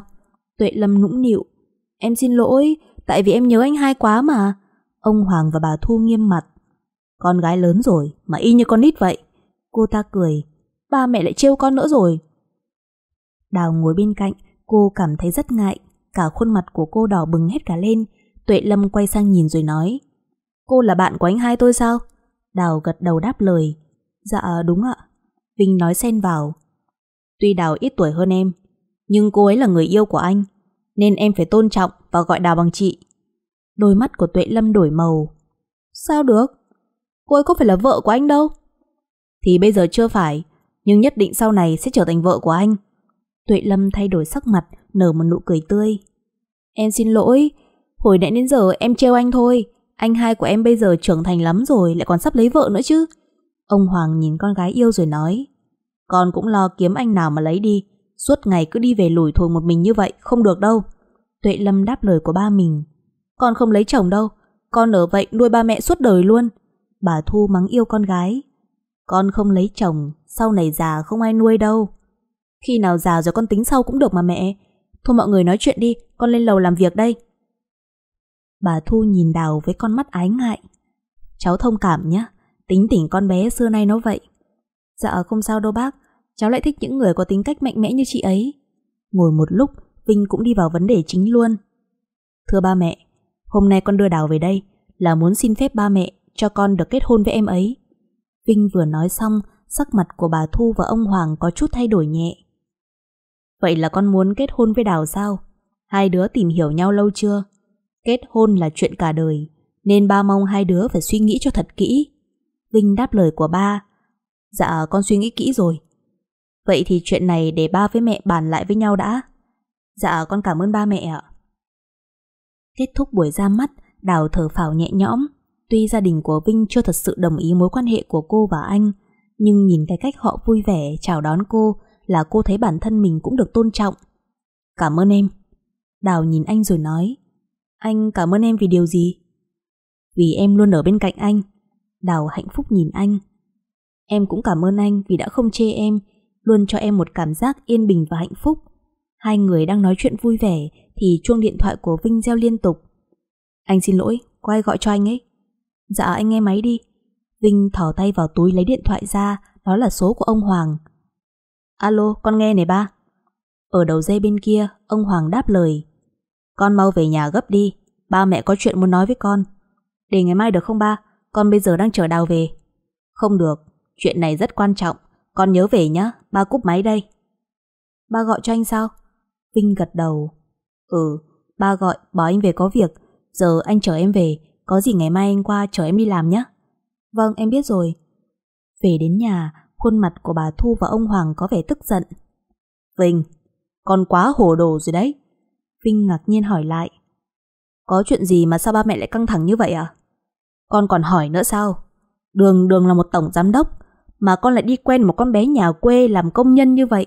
Trên đời này thiếu gì con gái chứ? Vinh thật sự rất sốc vì suy nghĩ của ba mẹ mình như vậy.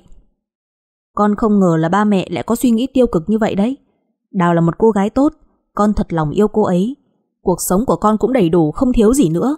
Nên bây giờ con chỉ cần hạnh phúc với người con yêu là được. Ông Hoàng tức giận lấy tay đập lên bàn.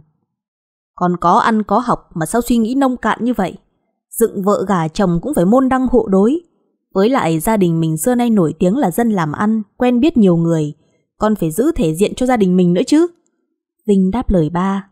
Đào cũng là người. Cô ấy đâu phải là tội phạm hay là người không được bình thường đâu. Mà ba mẹ lại nói con không giữ thể diện. Tiền có thể kiếm được, nhưng tình yêu đối với con cũng rất khó. Con mong ba mẹ hãy suy nghĩ lại và cho chúng con đến với nhau. Nếu ba mẹ một mực không đồng ý thì con sẽ... Vinh chưa nói hết câu, ông Hoàng liền nói xen vào. Nếu bà mẹ không đồng ý thì con sẽ làm gì? Vinh trả lời dứt khoát, con sẽ từ bỏ tất cả để đến với cô ấy. Nói xong anh quay mặt bước đi về phía trước, còn ông Hoàng tức giận nói không nên lời. Bà xem, thằng con quý tử của bà đang nói cái gì kìa? Bà Thu lo lắng nhìn chồng mình. Ông yên tâm, tôi sẽ có cách. Mấy ngày nữa là thằng Vinh nó đi công tác rồi, nên chúng ta sẽ tùy cơ ứng biến. Qua ngày hôm sau, bà Thu mới gọi Tuệ Lâm sang nói chuyện. Tuệ Lâm, con bé Ngọc dạo này có hay liên lạc với con không? Tội nghiệp con bé, nó thích anh trai con mà bị từ chối thẳng thắn như vậy, chắc là nó buồn lắm đúng không? Tuệ Lâm vừa nhai miếng ổi trong miệng vừa nói. Đang yên đang lành, tự nhiên mẹ nhắc cái Ngọc làm gì?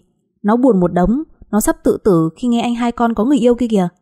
Trời đất ơi, tội nghiệp con bé, vừa đẹp người lại đẹp nết, có ăn có học đàng hoàng nữa chứ. Đúng đấy mẹ, vậy mà anh hai con không chọn nó, lại đi chọn cái con bé nhà quê bẩn thỉu ấy mới sợ chứ. Này Tuệ Lâm, giờ mẹ có một cái kế này rất hay. Chúng ta phải tìm cách để chia rẽ anh hai con và con bé xấu xa đó. Cho con bé Ngọc cơ hội làm vợ của anh hai con luôn. Tuệ Lâm nhăn mặt. Khó lắm đấy mẹ, tính anh hai của con rất cứng đầu. Bà Thu liền ghé vào tai của Tuệ Lâm nói nhỏ, nghe xong cô ta gật đầu liên tục. Dạ, kế này rất hay, mẹ đúng là thông minh. Vài ngày sau, Vinh có chuyến công tác xa, anh chuẩn bị mọi thứ chỉn chu rồi nhanh chóng đến chỗ của Đào để tạm biệt cô. Đào ơi, đợt này anh phải đi công tác tầm 2 tuần mới về, em ở nhà nhớ giữ gìn sức khỏe, ăn uống nhiều vào nhé. Đào nước mắt lưng chồng nhìn Vinh. Vâng, em biết rồi, anh cũng vậy nhé, nhớ gọi điện về cho em. Ừ, anh biết rồi. Nói xong, anh đi lại ôm lấy cô siết chặt. Xong đợt này về, anh sẽ cưới em. Đào hạnh phúc ôm chặt lấy người Vinh, cô ước gì thời gian dừng lại để cho cô được ở bên cạnh anh như thế này. Em sẽ rất nhớ anh. Vinh đặt lên trán cô một nụ hôn. Anh cũng vậy, chờ anh nhé. Đào gật đầu đáp lời anh.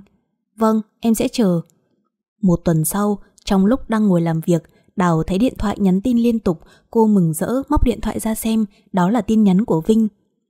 Em hôm nay đi làm có mệt không? Anh nhớ em nhiều lắm, còn một tuần nữa là anh được về với em rồi. Đào hạnh phúc, ngồi cười tủm tỉm, cô vội soạn tin nhắn để trả lời anh. Em làm không có mệt, chỉ nhớ anh thôi, giờ em đang làm, có gì lát nữa nghỉ trưa em gọi cho anh nhé. Nhắn tin xong, cô vội cất điện thoại vào túi rồi làm việc tiếp, thấy tin nhắn cứ reo liên tục, Đào lẩm bẩm một mình. Khổ ghê, đã nói là đang làm rồi sao cứ nhắn hoài vậy, chắc là đang nhớ mình lắm đây. Đào hạnh phúc móc điện thoại ra xem một lần nữa, nhưng lần này không phải là tin nhắn của Vinh mà là của một người khác gửi hình đến cho cô. Đào lưỡng lự một hồi rồi cũng mở ra xem. Đập vào mắt cô là hình ảnh của Vinh và một cô gái đang ngủ ở trong khách sạn. Đào choáng váng, cô cảm thấy đầu óc quay cuồng, cổ họng nghẹn lại và lồng ngực bắt đầu có dấu hiệu khó thở. Hai tay cô run lên để bấm chữ trên bàn phím. Cô là ai? Sao lại gửi những hình ảnh này cho tôi? Ở bên kia, tin nhắn cũng vừa mới được gửi đến. Tôi xin tự giới thiệu, tôi tên là Ngọc, người yêu của anh Vinh. Tôi và anh ấy cũng yêu nhau được 3 năm. Tôi mới đi du học nước ngoài về, nên hai chúng tôi đang đi du lịch cùng với nhau. Tôi có nghe tin trong thời gian tôi đi vắng, cô và anh Vinh có quen biết với nhau. Nhưng tôi biết tính cách của anh ấy chỉ vui chơi qua đường, nên tôi cũng không phải lo lắng. Tôi chỉ muốn gửi những tấm hình này nhắc nhở cho cô biết để cô tránh xa ra, kẻo sau này người mang đau khổ sẽ là cô đấy. Từng dòng chữ cứ thi nhau hiện ra trước mắt, khiến cho tim của Đào đau như có ai sắt muối vào vậy. Cô thật không ngờ Vinh là một kẻ khốn nạn như vậy. Tại sao ở với cô, anh có thể diễn kịch giỏi tới như vậy chứ? Cô không còn đủ sức để làm việc nên đành phải xin chị tổ trưởng về giữa chừng. Trời bỗng đổ một cơn mưa lớn, khiến cho trái tim của Đào càng lạnh giá hơn. Cô dừng xe lại, ngửa mặt lên trời khóc như một đứa trẻ. Giờ đây mọi thứ đối với cô thật sự rất vô nghĩa, bao nhiêu hy vọng và sự yêu thương đã dần tan biến thành mây khói. Tối hôm đó, cô không thể nào chớp mắt nổi, hai mắt cô sưng lên vì khóc nhiều, cô cảm thấy thương cho bản thân mình vì đã dành tình cảm quá nhiều cho Vinh. Thứ cô nhận lại bây giờ chỉ là đau khổ và sự phản bội. Có số điện thoại lạ gọi đến, cô xoay mình lấy tay với chiếc điện thoại ở đầu giường để ấn máy nghe. Alo, cho tôi hỏi số này của ai vậy? Ở đầu dây bên kia vang lên giọng của một người phụ nữ. Tôi là mẹ của Vinh, ngày mai đúng 10 giờ trưa, cô ra quán cà phê để gặp tôi. Cả người đào run lên, cô cố hít một hơi thật sâu để lấy lại bình tĩnh. Dạ, ngày mai cháu phải đi làm rồi ạ. Giọng bà ta lại một lần nữa vang lên. Cô hãy xin nghỉ làm đi, chuyện này rất quan trọng, cô nhớ đến gặp tôi. Tôi sẽ nhắn tin địa chỉ cho cô. Nói xong, bà ta tắt máy ngang luôn. Qua ngày hôm sau, Đào cứ lưỡng lự suy nghĩ, cuối cùng cô cũng nhắn tin xin chị tổ trưởng nghỉ thêm một ngày để gặp bà ấy. Đúng 10 giờ trưa, cô có mặt ở địa chỉ có sẵn, đưa con mắt tìm kiếm một hồi thì cô cũng thấy bàn của bà ấy. Cháu chào bác ạ. Bà Thu nhìn cô với con mắt không mấy thiện cảm rồi nói. Cô ngồi xuống đi. Dạ vâng. Tôi đi thẳng vào vấn đề chính luôn, kẻo mất thời gian của cô và tôi. Đào gật đầu đáp lời. Dạ vâng thưa bác. Thật ra thì vợ chồng tôi không đồng ý mối quan hệ giữa cô và con trai của chúng tôi. Nhưng vì giữ sĩ diện cho cô, nên bữa hôm đó chúng tôi không nói gì. Nhưng hôm nay, tôi bắt buộc phải nói để cho cô hiểu. Gia đình chúng tôi thuộc hàng nhà giàu và có địa vị trong xã hội. Vì thế con dâu của chúng tôi cũng phải môn đăng hộ đối mới được. Với lại tôi khuyên cô nên đi kiếm một người nào phù hợp để lấy. Chứ thằng Vinh nhà tôi là đứa trăng hoa. Nó yêu cô theo kiểu qua đường thôi. Đàn bà phụ nữ đừng tham vọng trèo cao quá, sẽ chuốc lấy đau khổ mà thôi. Bà ta nói đến đâu, nước mắt của Đào rơi đến đó. Bác yên tâm, cháu sẽ rời xa anh ấy. Bà Thu dùng con mắt sắc lạnh nhìn chăm chăm vào cô. Đây là 200 triệu tôi cho cô. Bà ta vừa nói vừa thò tay vào túi móc tiền ra, nhìn sắp tiền để ngay ngắn trên bàn mà cả người của Đào run lên vì giận dữ. Bác cho cháu tiền để làm gì ạ? Bà ta nhếch mép cười đều. Tôi nghĩ thứ mà cô cần chắc có lẽ là tiền. Cô cầm lấy và lập tức rời khỏi nơi đây. Cô hãy tránh xa con trai của tôi càng sớm càng tốt. Nếu không thì gia đình của cô ở quê cũng sẽ không được yên đâu. Từng lời của bà ấy giống như những mũi tên nhọn đâm thẳng vào tim cô. Cô không ngờ là bản thân mình trong mắt người khác lại tệ tới như vậy. Phải chăng nghèo cũng là một cái tội. Cô đưa tay đẩy sấp tiền về phía của bà ấy. Bác hãy cất tiền đi. Có lẽ bác nói đúng, cháu bây giờ đang rất cần tiền, nhưng tiền do mồ hôi công sức của mình làm ra thì mới đáng quý. Tuy cháu là con nhà nghèo, nhưng cháu có lòng tự trọng của mình. Cháu xin bác đừng dùng cách này để làm tổn thương cháu. Còn về việc chia tay với anh Vinh thì bác cứ yên tâm. Cháu chúc bác và gia đình bác có một cuộc sống vui vẻ và hạnh phúc. Nói xong với bà ta, Đào nhanh chóng đứng dậy rời đi, từng giọt nước mắt cứ thi nhau chảy đầy hai má của cô. Về đến phòng trọ, cô nhanh chóng thu dọn đồ đạc. Có lẽ giờ đây, người thương cô nhất chính là mẹ. Cô ngồi bệt xuống nhà khóc lớn như một đứa trẻ. Mấy ngày sau, Đào đã có mặt ở nhà, nhìn khuôn mặt con gái hốc hác và tiểu tụy, bà Mến mới hỏi con. Đã xảy ra chuyện gì rồi phải không con? Đào cười rồi ôm lấy mẹ. Con thì có chuyện gì xảy ra được chứ? Tại đợt này công ty hết việc nên con về nghỉ một thời gian. Bà Mến nhìn cô với ánh mắt đầy sự yêu thương. Vậy thằng Vinh đi công tác chưa về sao? Dạ, anh ấy đợt này đi cả tháng mẹ ạ. Mà nhà mình còn gà nữa không? Mẹ ra bắt một con làm thịt cho con ăn với. Bà Mến mắng yêu con gái. Mẹ biết rồi cô nương. Mẹ nuôi một đàn gà để cuối năm nay mà đám cưới của con thì mẹ sẽ làm thịt đãi mọi người. Nghe mẹ nói xong, cổ họng của Đào bỗng nghẹn lại. Cô cố gắng kiềm chế cảm xúc để không cho những giọt nước mắt trào ra.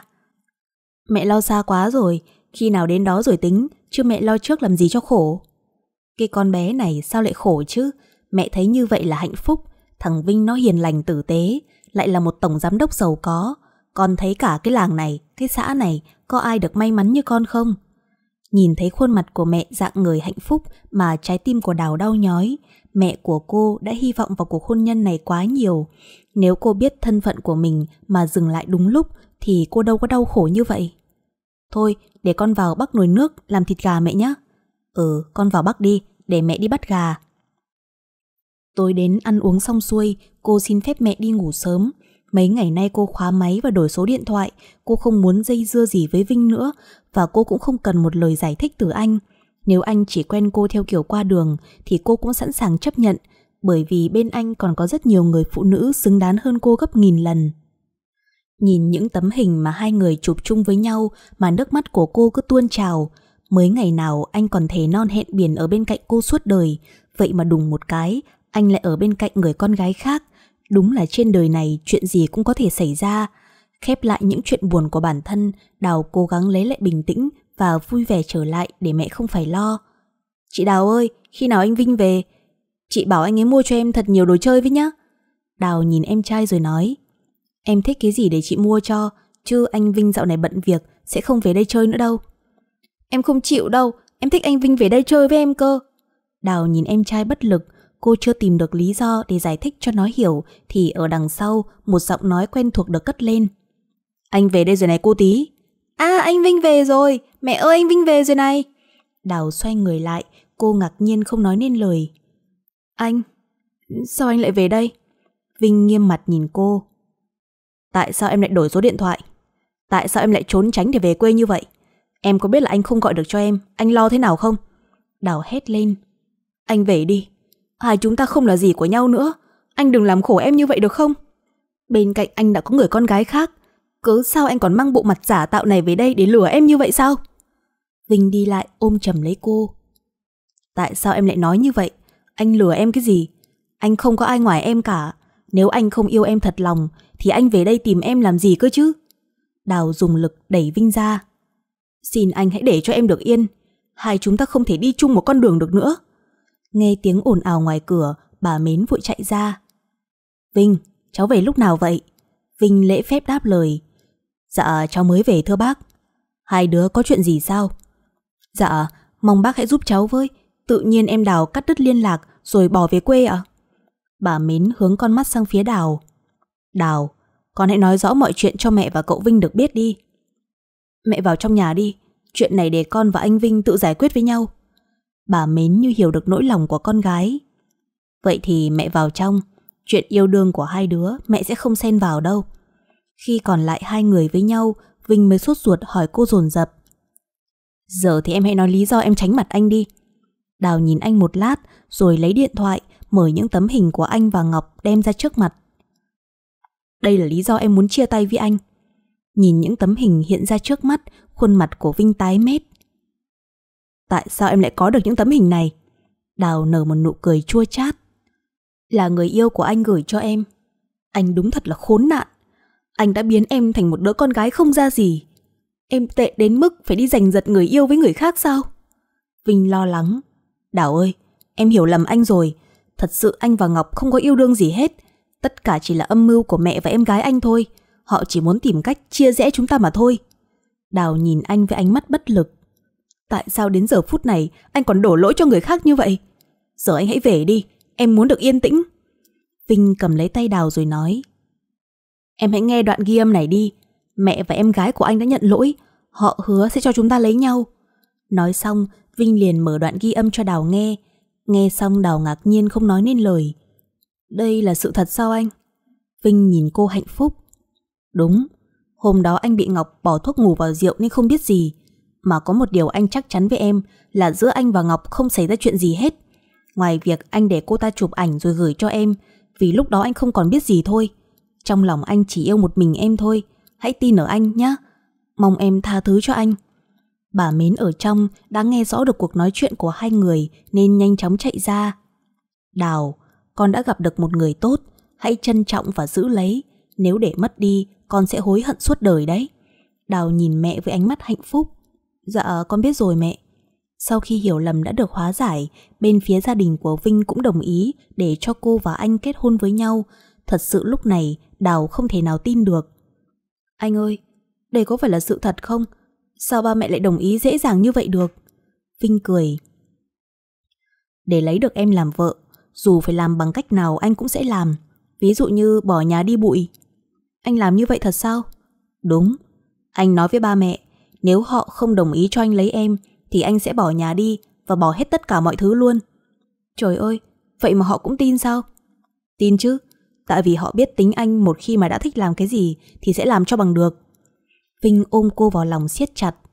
Cuộc sống của anh không thiếu gì hết, chỉ thiếu mỗi mình em thôi. Anh cũng đã từng yêu rất nhiều cô gái, nhưng em với anh lại muốn đi hết cuộc đời này. Chắc là do định mệnh ông trời sắp đặt cho hai chúng ta. Đào ngước mắt lên trả lời anh. Dạ đúng vậy đấy anh, hai chúng ta gặp nhau là do có duyên nợ với nhau. Khoảng một tuần sau đó thì Vinh xin phép về lại Sài Gòn để chuẩn bị cho lễ ăn hỏi của anh và Đào. Mọi người trong làng nghe tin Đào sắp lấy chồng, ai cũng vui và mừng cho cô. Ái chà, con Đào mới ngày nào còn đen nhèm khóc nhè, vậy mà giờ gần lấy chồng rồi cơ đấy. Bà Mến hạnh phúc đáp lời của mọi người.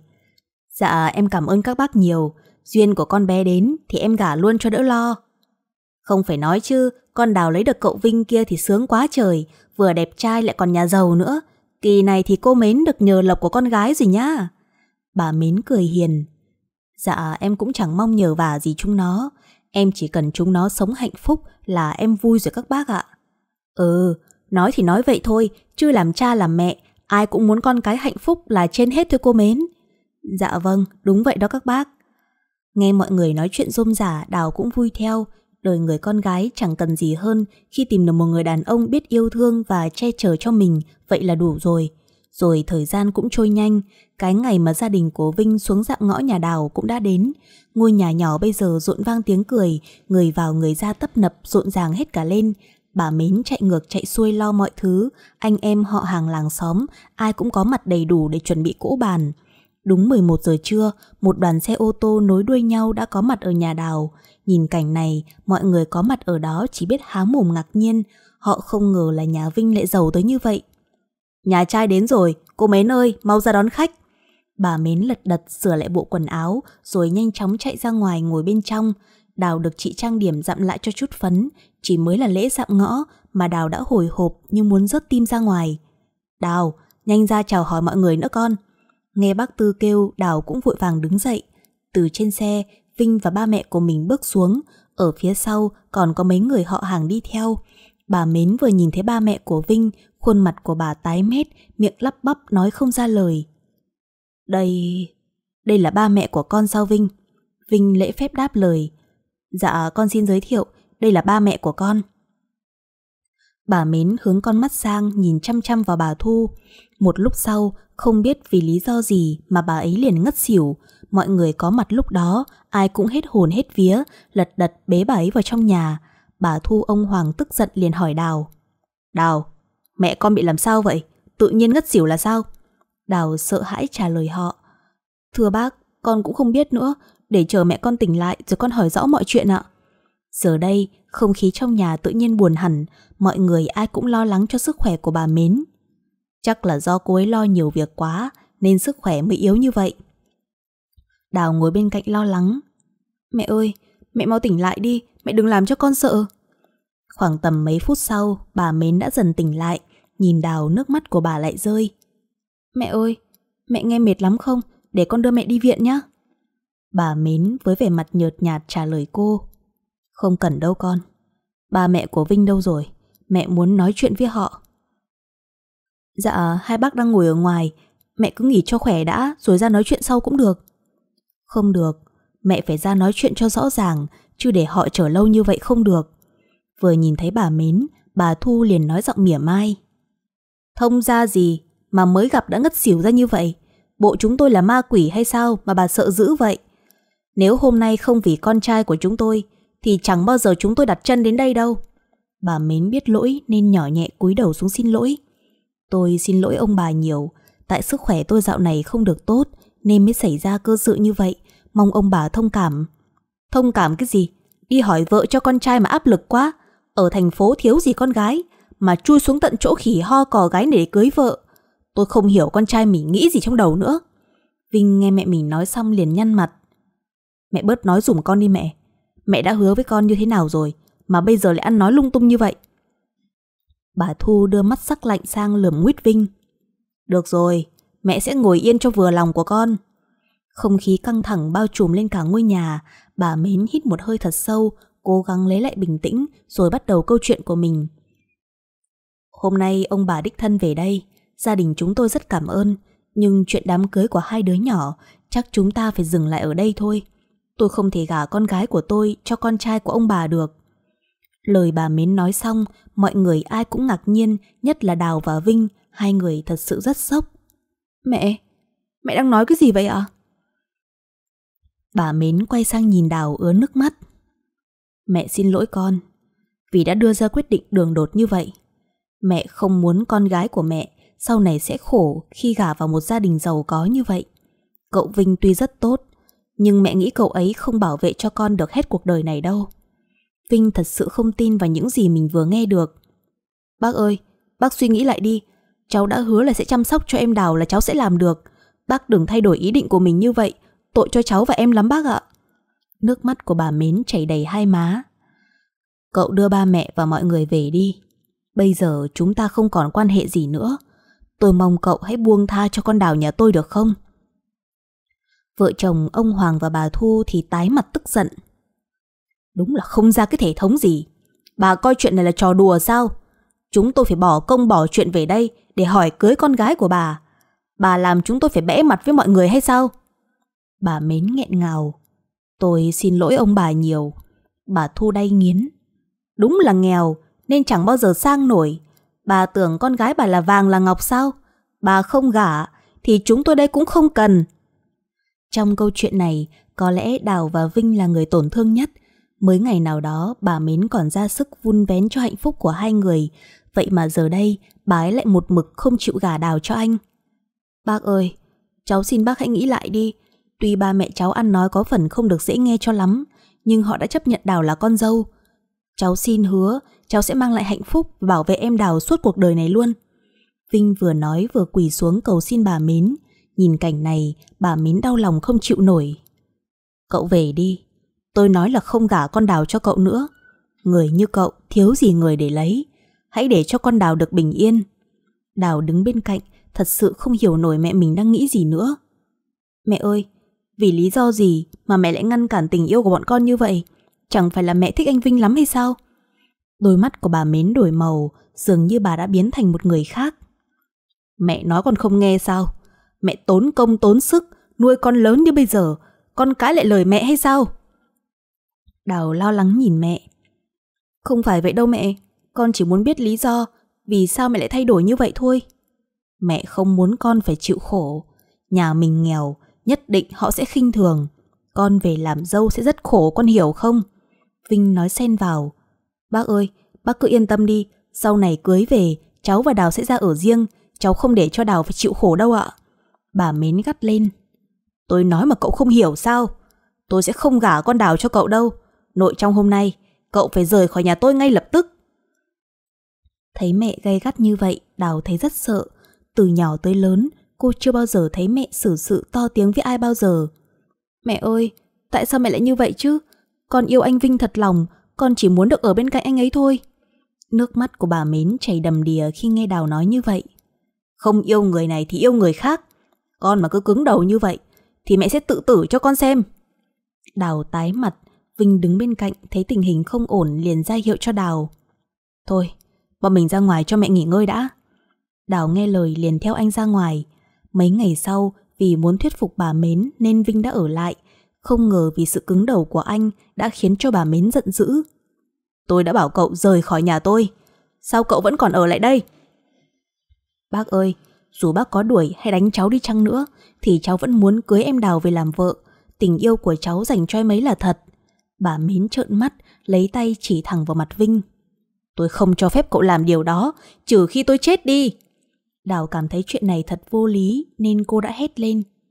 Mẹ thật là độc ác. Hạnh phúc của con, sao mẹ nỡ lòng nào cấm cản chứ? Chẳng phải mẹ thường nói là mong cho con sau này tìm được một người đàn ông yêu thương con thật lòng. Vậy giờ thì sao? Mẹ mau trả lời con đi. Nếu mẹ không cho phép con và anh Vinh lấy nhau thì con sẽ bỏ đi theo anh ấy luôn. Nước mắt của bà mến thi nhau chảy đầy hai má của mình. Bất chợt, bà thò tay vào túi áo của mình, lôi ra một chai thuốc sâu. Nếu hai đứa còn cãi lời mẹ, thì hôm nay mẹ sẽ uống hết chai thuốc sâu này cho hai đứa vừa lòng. Đào không thể tin được những gì đang xảy ra trước mắt. Nhìn mẹ đang từ từ mở nắp chai thuốc ra, cả người cô run lên bần bật. Vinh đứng bên cạnh, anh nhanh tay giật lấy chai thuốc sâu trên tay của bà Mến. Bác ơi, cháu xin bác, nếu vì ngăn cản tình yêu của cháu và em Đào mà bác nỡ từ bỏ mạng sống của mình, thì cháu sẽ rời khỏi đây. Cháu chấp nhận chia tay với em ấy. Vinh vừa nói vừa đưa con mắt hướng về phía Đào, Đào khóc nghẹn lên. Anh... Vinh đau lòng ngậm ngùi đi vào trong thu dọn đồ đạc. Chắc trên đời này không có gì đau khổ bằng sự chia ly. Đào không chịu được, đi lại ôm anh từ phía sau. Đào, đi vào trong nhà cho mẹ. Giọng của bà Mến vang lên như xé nát cõi lòng của Đào. Em vào trong đi. Tạm biệt em. Anh sẽ nhớ em rất nhiều. Đào buông tay, đau đớn nhìn anh bước đi. Bà Mến cũng buồn bã vào trong nằm nghỉ. Bà nằm quay mặt vào phía trong tường khóc như mưa như gió.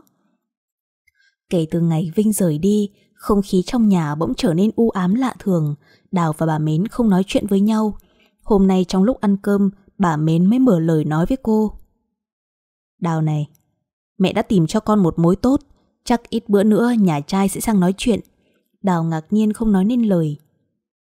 Mẹ, sao mẹ lại có thể đối xử với con như vậy? Con không yêu người ta, sao con lấy được đây? Bà Mến nghiêm mặt nhìn cô. Không yêu rồi lấy về sẽ yêu. Gia đình họ tuy ở quê nhưng lại rất khá giả, chắc chắn sau này con sẽ không khổ đâu. Đào hét lên. Vấn đề ở đây không phải là khổ hay sướng, mà là con không yêu người ta. Trái tim con đang có hình bóng của anh Vinh, thì làm sao con về làm vợ của người ta được? Mẹ phải cho con thời gian để con suy nghĩ nữa chứ. Vinh, Vinh, lúc nào cũng Vinh. Con quên cậu ta đi không được sao? Nếu con còn nhắc đến cậu ta và không chịu nghe lời mẹ, thì mẹ sẽ ra đi mãi mãi. Mẹ nói là làm, chứ mẹ không dọa con đâu. Đào tuyệt vọng, cô khóc như mưa như gió. Sao mẹ lại thay đổi nhanh như vậy? Mẹ không thương con nữa sao? Bà Mến đứng dậy. Mẹ thương con thì mẹ mới làm như vậy. Sau này rồi con sẽ hiểu. Vài ngày sau đó, đối tượng mà bà Mến muốn cho Đào kết hôn cũng đã đến. Mới đầu gặp cô, gia đình họ đã ưng từ cái nhìn đầu tiên. Đào bây giờ giống như một cái xác không hồn, mọi việc đều phải làm theo lời sắp xếp của bà Mến. Cô bị bà Mến giam lỏng trong nhà, không cho sử dụng điện thoại. Biết được chuyện này, cô tí em của Đào đã lén trộm điện thoại của bà Mến gọi cho Vinh. Alo, anh Vinh phải không? Anh mau về gấp, mẹ đang chuẩn bị gả chị Đào cho người khác, mẹ đang nhốt chị Đào trong phòng không cho ra ngoài nữa. Vinh nghe xong điện thoại mà rụng rời chân tay, anh liền gọi trợ lý lên dặn dò. Cậu bảo, cậu sắp xếp mọi việc dùm tôi, tôi phải đi mấy ngày có việc. Bảo nhăn mặt, nhưng sếp ơi, ngày mai có cuộc họp quan trọng, sếp phải tham gia không được vắng mặt. Hủy cuộc họp dùm tôi. Sếp ơi không hủy được đâu. Mặc cho anh trợ lý nói ở đằng sau, nhưng Vinh vẫn mặc kệ mở cửa đi ra ngoài. Lần này về quê, anh phải bí mật không cho bà Mến biết, dù phải bằng cách nào, anh cũng phải đưa được Đào đi cùng. Tối đến trong lúc ăn cơm, cô tí liền ôm bụng kêu, Mẹ ơi, con tự nhiên đau bụng quá. Bà Mến lo lắng. Con đau chỗ nào? Cô tí lấy tay chỉ vào giữa bụng. Con đau chỗ này này mẹ. Mẹ mau đưa con đi khám bác sĩ xem sao. Nghe con trai nói vậy, bà Mến lật đật đứng dậy, rồi ra lấy chiếc xe đạp ở góc nhà để chở cô tí đi. Nhanh lên xe mẹ chở đi. Cô tí nhăn mặt. Ây à, đau bụng quá mẹ. Đến chỗ bác sĩ, bà Mến nhanh chóng nói với bác sĩ. Bác sĩ ơi, con trai tôi tự nhiên đau bụng, nhờ bác sĩ khám cho nó với. Vị bác sĩ nhìn bà Mến rồi nói. Đưa thằng bé vào trong đi, tôi siêu âm cho. Dạ cảm ơn bác sĩ nhiều. Sau một hồi siêu âm, vị bác sĩ nhìn cu tí với vẻ mặt nghi ngờ. Giờ bác sẽ trích cho con hai mũi, một mũi ở đùi và một mũi ở bụng được không? Khuôn mặt cô tí tái mét khi nghe bác sĩ nói vậy. Dạ cháu hết đau rồi bác sĩ, bác sĩ không cần phải trích nữa đâu. Bà Mến đứng bên cạnh tức giận. Chuyện này là sao? Con lừa mẹ với mục đích gì? Nếu con không nói cho mẹ biết, thì mẹ sẽ cho bác sĩ trích cho con nát cái mông luôn đấy. Cô tí sợ hãi khóc ẩm lên. Con biết lỗi rồi mẹ tha cho con đi.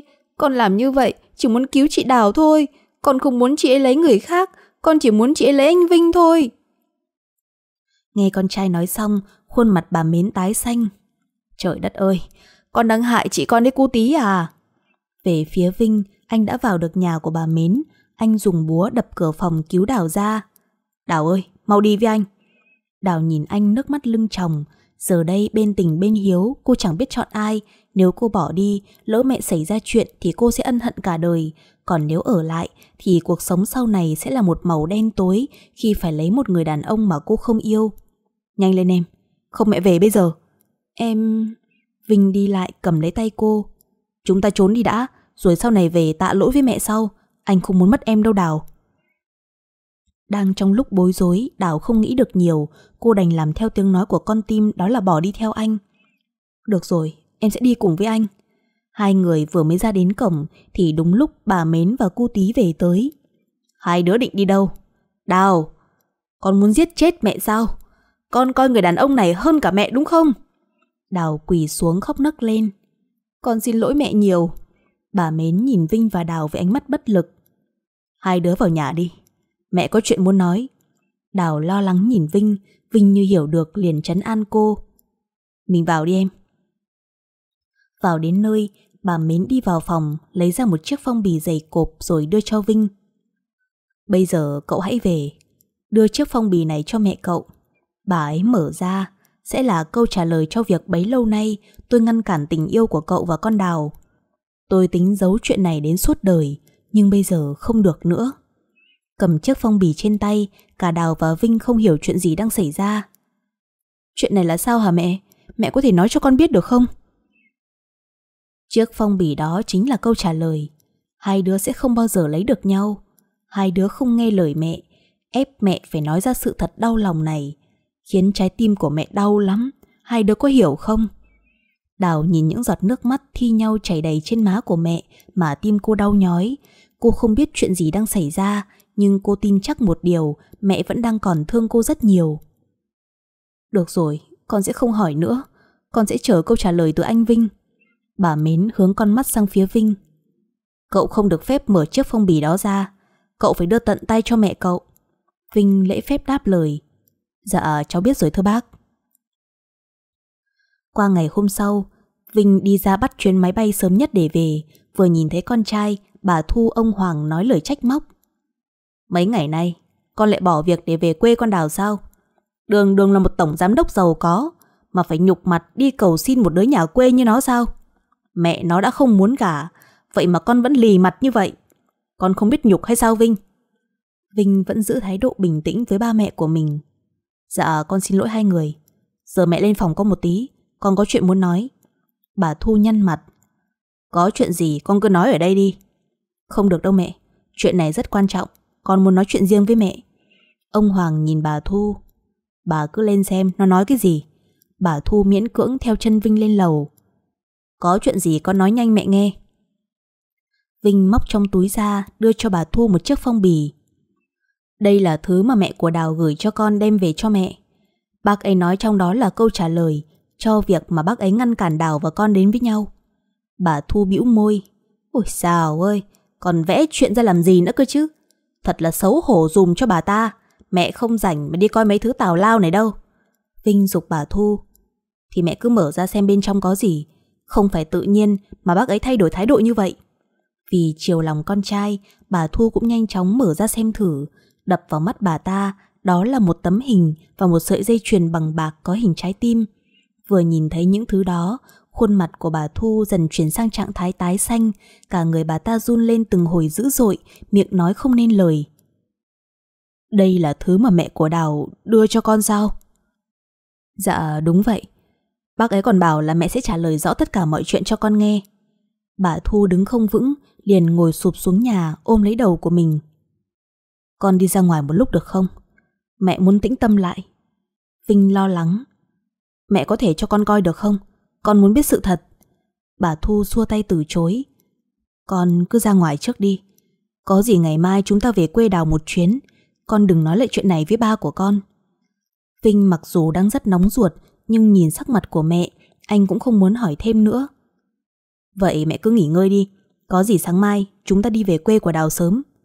Ừ, mẹ biết rồi. Khi còn lại một mình ở trong phòng, bà Thu khóc nấc lên không thành tiếng. Bà đưa sợi dây chuyền lên áp vào ngực của mình rồi nấc lên. Mẹ xin lỗi. Mẹ không phải là người mẹ tốt. Mẹ có lỗi với con quá con ơi. Cả đêm hôm đó, bà Thu không thể nào chợp mắt nổi, bà cứ lăn qua lăn lại cho đến khi trời sáng. Ông ơi, hôm nay tôi với thằng Vinh có chút việc, ở nhà có việc gì thì gọi điện cho tôi nhé. Ông Hoàng trả lời vợ mình. Có việc gì gấp mà bảo với nó đi sớm vậy? Có chút việc thôi, ông cứ ngủ tiếp đi. Ở quê, Đào nghe tin Vinh sắp về tới nơi, cô tự nhiên thấy lo và hồi hộp trong lòng. Cô cảm nhận là có chuyện gì lớn sắp xảy ra với cuộc đời của cô. Nhìn con gái bà Mến liền nói. Đào này, nếu sau này con biết hết sự thật, con có coi mẹ là mẹ của con nữa không? Đào nghe mẹ nói mà không hiểu gì. Mẹ đang nói cái gì vậy? Dù có chuyện gì xảy ra thì mẹ vẫn mãi là mẹ của con. Bà Mến nhìn cô ướn nước mắt. Thôi, con vào trong dọn dẹp đi, để ngoài này mẹ làm cho. Khoảng tầm trưa thì bà Thu và Vinh cũng về tới nơi, Đào nhìn thấy liền lễ phép chào. Cháu chào bác, bác đi đường có mệt lắm không ạ? À? Khác với những lần trước, lần này thái độ của bà ấy thay đổi rõ rệt. Bác cảm ơn cháu, bác không mệt. Bà Thu đi vào trong, nhìn thấy bà Mến, khuôn mặt của bà Thu có chút xấu hổ. Em chào chị. Bà Mến đưa ánh mắt không mấy thiện cảm nhìn bà Thu. Hai người ngồi xuống đi. Chợt bà Thu quỳ xuống òa khóc lên. Em xin lỗi chị.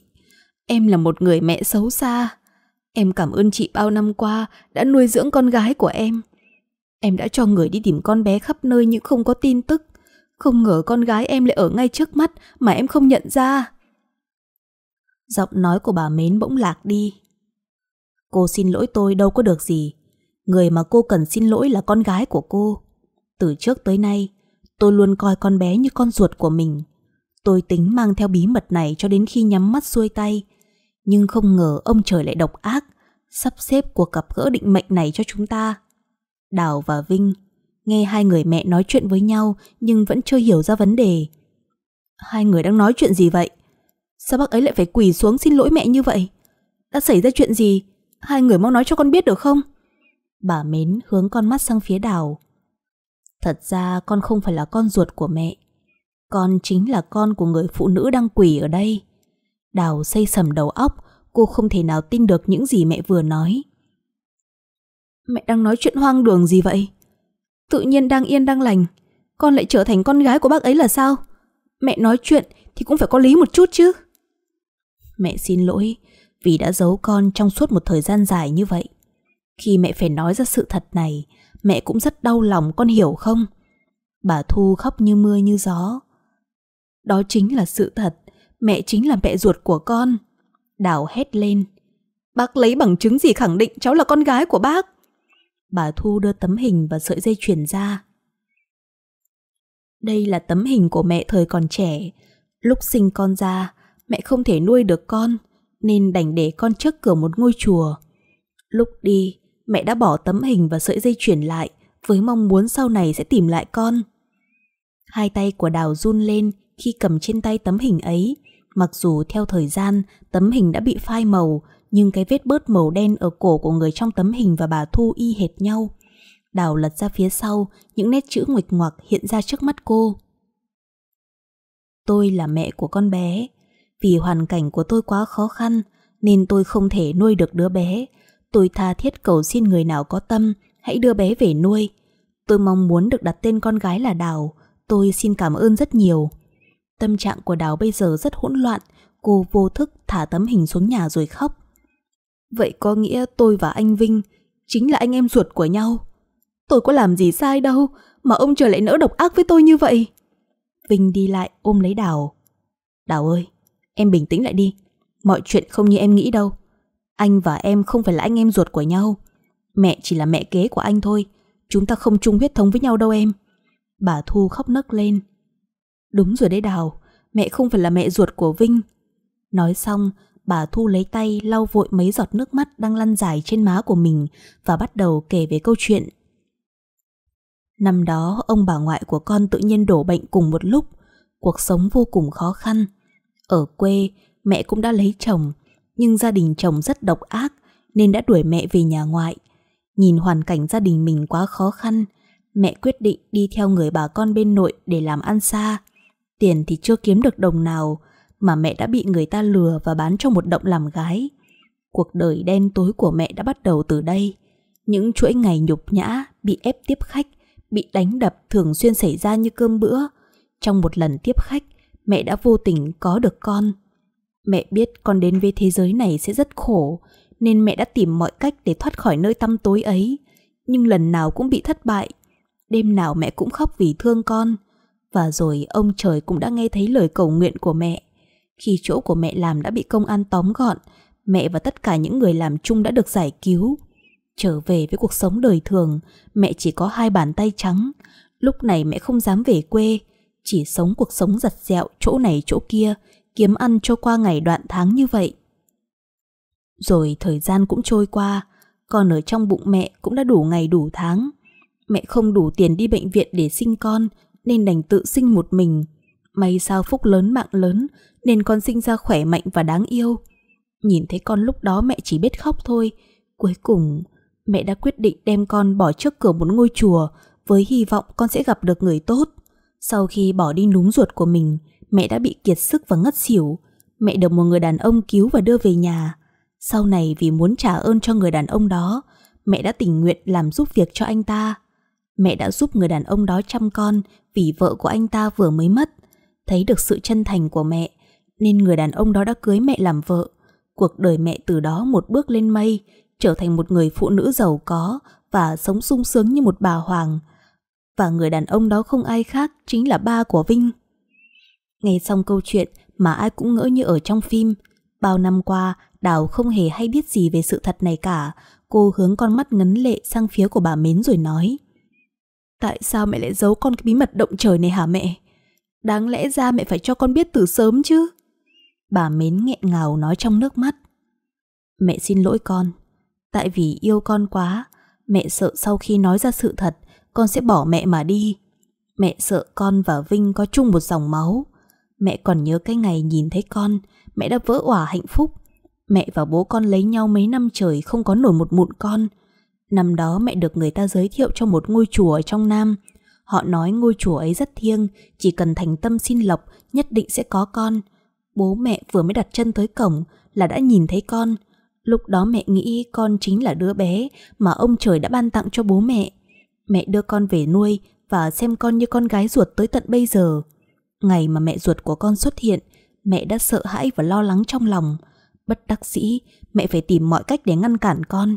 Nhưng có lẽ do ông trời đã định, dù mẹ có làm gì cũng đều vô ích thôi. Đào khóc nấc lên, cô lại đi lại ôm bà Mến vào lòng siết chặt. Con yêu mẹ, dù có thế nào con cũng yêu mẹ. Mẹ là người nuôi dưỡng chăm sóc cho con có được cuộc sống như ngày hôm nay. Bà Mến lấy tay, lau đi những giọt nước mắt đang lăn dài trên má của Đào.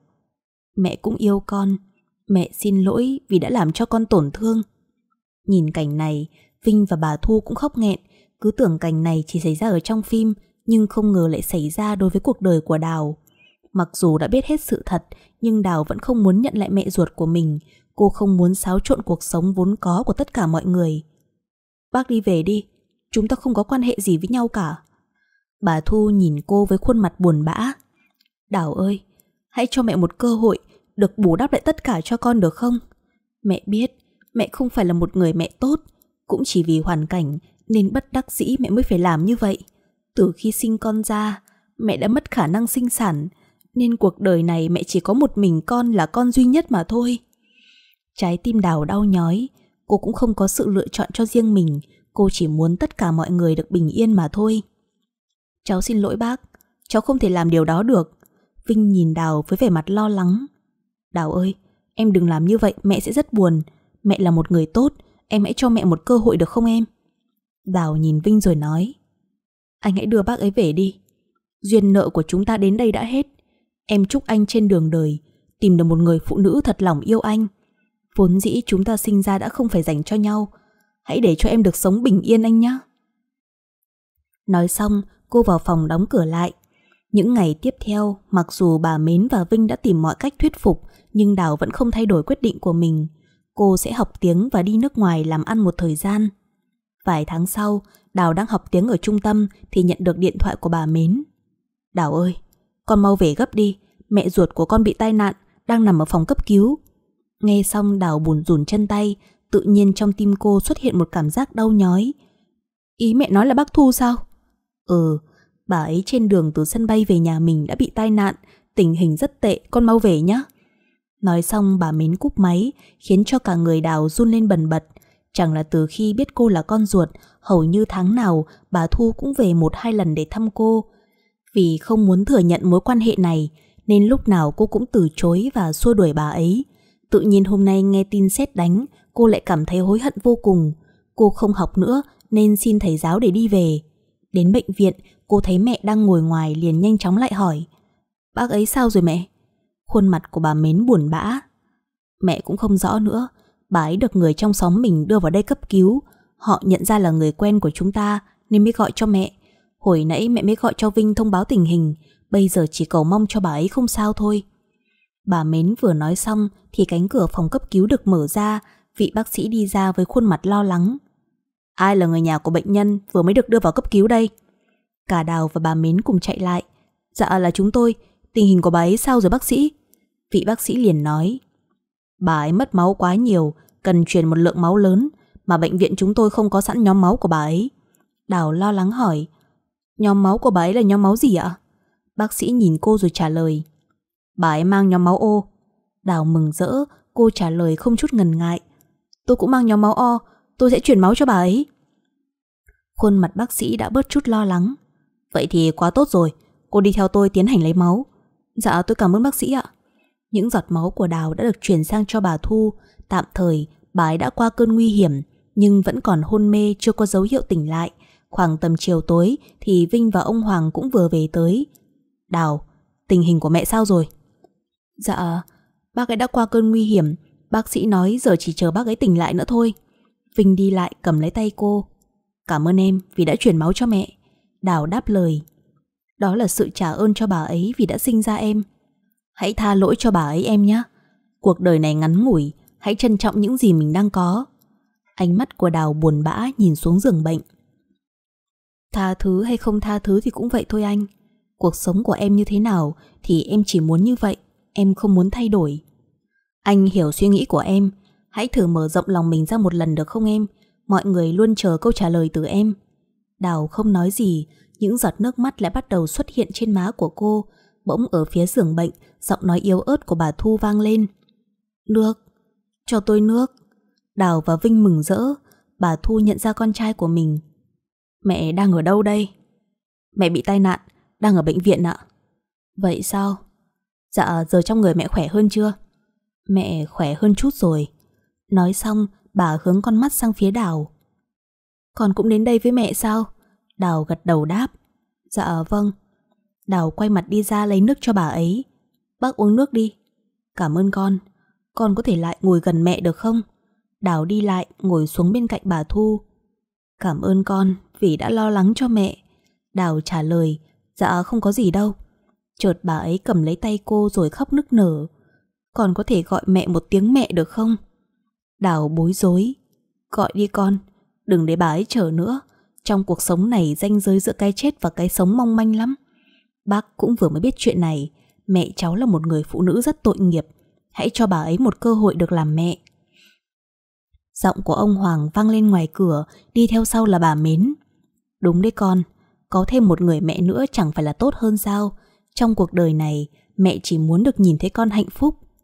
Đào đưa ánh mắt nhìn tất cả mọi người, rồi quay lại nhìn bà Thu, bỗng miệng cô phát ra một tiếng mẹ theo phản xạ. Mẹ!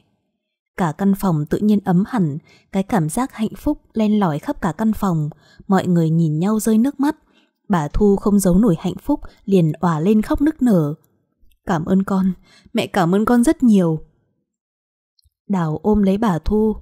Mẹ ơi! Trải qua biết bao nhiêu thăng trầm của cuộc sống, giờ đây mọi thứ đã quay về đúng quỹ đạo vốn có của nó. Được sự ủng hộ nhiệt tình của mọi người, Đào đã đồng ý nhận lời cầu hôn của Vinh. Hãy làm vợ của anh nha Đào. Đào mỉm cười hạnh phúc. Em đồng ý. Vinh vui sướng bế cô lên xoay mấy vòng. Cảm ơn em. Anh thả em xuống đi, mọi người đang nhìn xấu hổ chết đi được. Vinh siết chặt người cô hơn. Kệ họ, anh muốn cho cả thế giới này biết anh đang hạnh phúc tới nhường nào. Đào mắng yêu. Anh ghét thật đấy. Vinh cười hiền, anh thả cô xuống rồi đặt lên má cô một nụ hôn. Anh yêu em. Đào nhìn anh với ánh mắt đầy sự yêu thương. Em cũng vậy. Vậy là một đám cưới cổ tích giữa đời thường được tổ chức trong một nhà hàng sang trọng bậc nhất thành phố. Đào từ một cô gái công nhân nghèo khổ, nay được bước lên mây, trở thành vợ của một tổng giám đốc giàu có đẹp trai. Chúc mừng Đào nhé, nhìn em mà bọn chị ao ước quá đấy. Đào cười tươi, đáp lời mấy chị làm cùng. Em cảm ơn các chị đã đến chung vui cùng với vợ chồng em. Em chúc cho các chị cũng tìm được người chồng ưng ý nhé. Cảm ơn Đào, sau này nhớ đừng quên bọn chị là được. Làm sao em quên được ạ? Đào và mọi người đang nói chuyện rôm rả thì Ngọc đi tới. Chúc mừng hạnh phúc hai người nhé. Nhìn hai người hạnh phúc như vậy, em thấy vui trong lòng. Vinh nhìn Ngọc rồi trả lời. Cảm ơn em.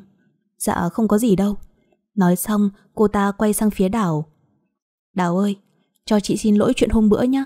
Chỉ vì chị suy nghĩ nông cạn mà làm tổn thương em. Có gì em đừng để bụng, hãy bỏ qua cho chị được không? Đào nhìn cô ta với vẻ mặt tươi vui. Chuyện đó em quên lâu rồi, cũng nhờ vậy mà em mới biết anh Vinh yêu em nhiều thế nào. Chị em mình cứ vui vẻ lên nhé, em không trách chị đâu. Ngọc đi lại ôm lấy Đào rồi nói lời cảm ơn. Cảm ơn em rất nhiều, em xứng đáng có được tình yêu từ anh Vinh. Cuộc sống sau đám cưới của Đào rất hạnh phúc viên mãn. Bây giờ mẹ chồng lại trở thành mẹ đẻ nên cô được yêu thương và chiều chuộng hết lòng. Ông Hoàng muốn ngỏ ý cho Đào cùng với Vinh quản lý công ty nên đã mở lời với cô. Đào ơi, con này đã là dâu của nhà này nên việc công ty hay nhà cửa cũng cần có bàn tay của con. Ba muốn con đi học ngành quản trị kinh doanh để sau này về giúp đỡ thằng Vinh nữa. Đào quay sang nhìn Vinh. Ba nói như vậy thì ý của anh có cho em đi học không? Vinh đáp lời cô. Anh ủng hộ hai tay hai chân luôn đấy chứ. Anh cũng tính bản với em như vậy. Đào mừng rỡ. Em sẽ cố gắng học để không phụ lòng của anh và ba. Nhìn mọi người trong nhà vui vẻ, sống hòa thuận với nhau, bà Thu cảm thấy yên tâm trong lòng. Bà cố gắng làm mọi thứ để bù đắp tất cả lại cho Đào. Một thời gian sau, trong lúc ngồi ăn cơm, Đào nhìn thấy những món ăn trên bàn, cô không chịu nổi liền chạy vào bên trong nôn hết ra, bà Thu và Vinh chạy theo phía sau. Em bị làm sao thế? Đào ngước mặt lên trả lời. Em thấy trong người nôn nao, nhìn thấy đồ ăn là buồn nôn không chịu được. Vốn là người từng trải nên bà Thu nhìn qua là đã biết. Tháng này con trễ kinh chưa? Đào bối rối. Dạ con trễ mấy ngày rồi mẹ ạ. Khuôn mặt bà Thu mừng rỡ. Vậy thì mau ra thay đồ đi, để mẹ đưa đi bệnh viện. Khuôn mặt của Đào ngơ ngác. Đi bệnh viện làm gì hả mẹ? Đi khám thai chứ còn đi đâu. Vinh đứng bên cạnh không giấu nổi niềm hạnh phúc. Ý mẹ nói là Đào có thai sao? Ừ, nhìn sắc mặt của Đào là mẹ đoán được ngay. Năm nay mà có con thì không có gì tuyệt bằng đâu. Vậy thì nhanh lên, để con chở hai người đi. Đến bệnh viện, Đào được bác sĩ siêu âm và thông báo cho cô biết là cô đã có thai được một tháng. Đào hạnh phúc bật khóc nức nở. Cảm ơn bác sĩ nhiều ạ. Thấy con gái hai mắt đỏ hoe, bà Thu lo lắng. Kết quả thế nào hả con?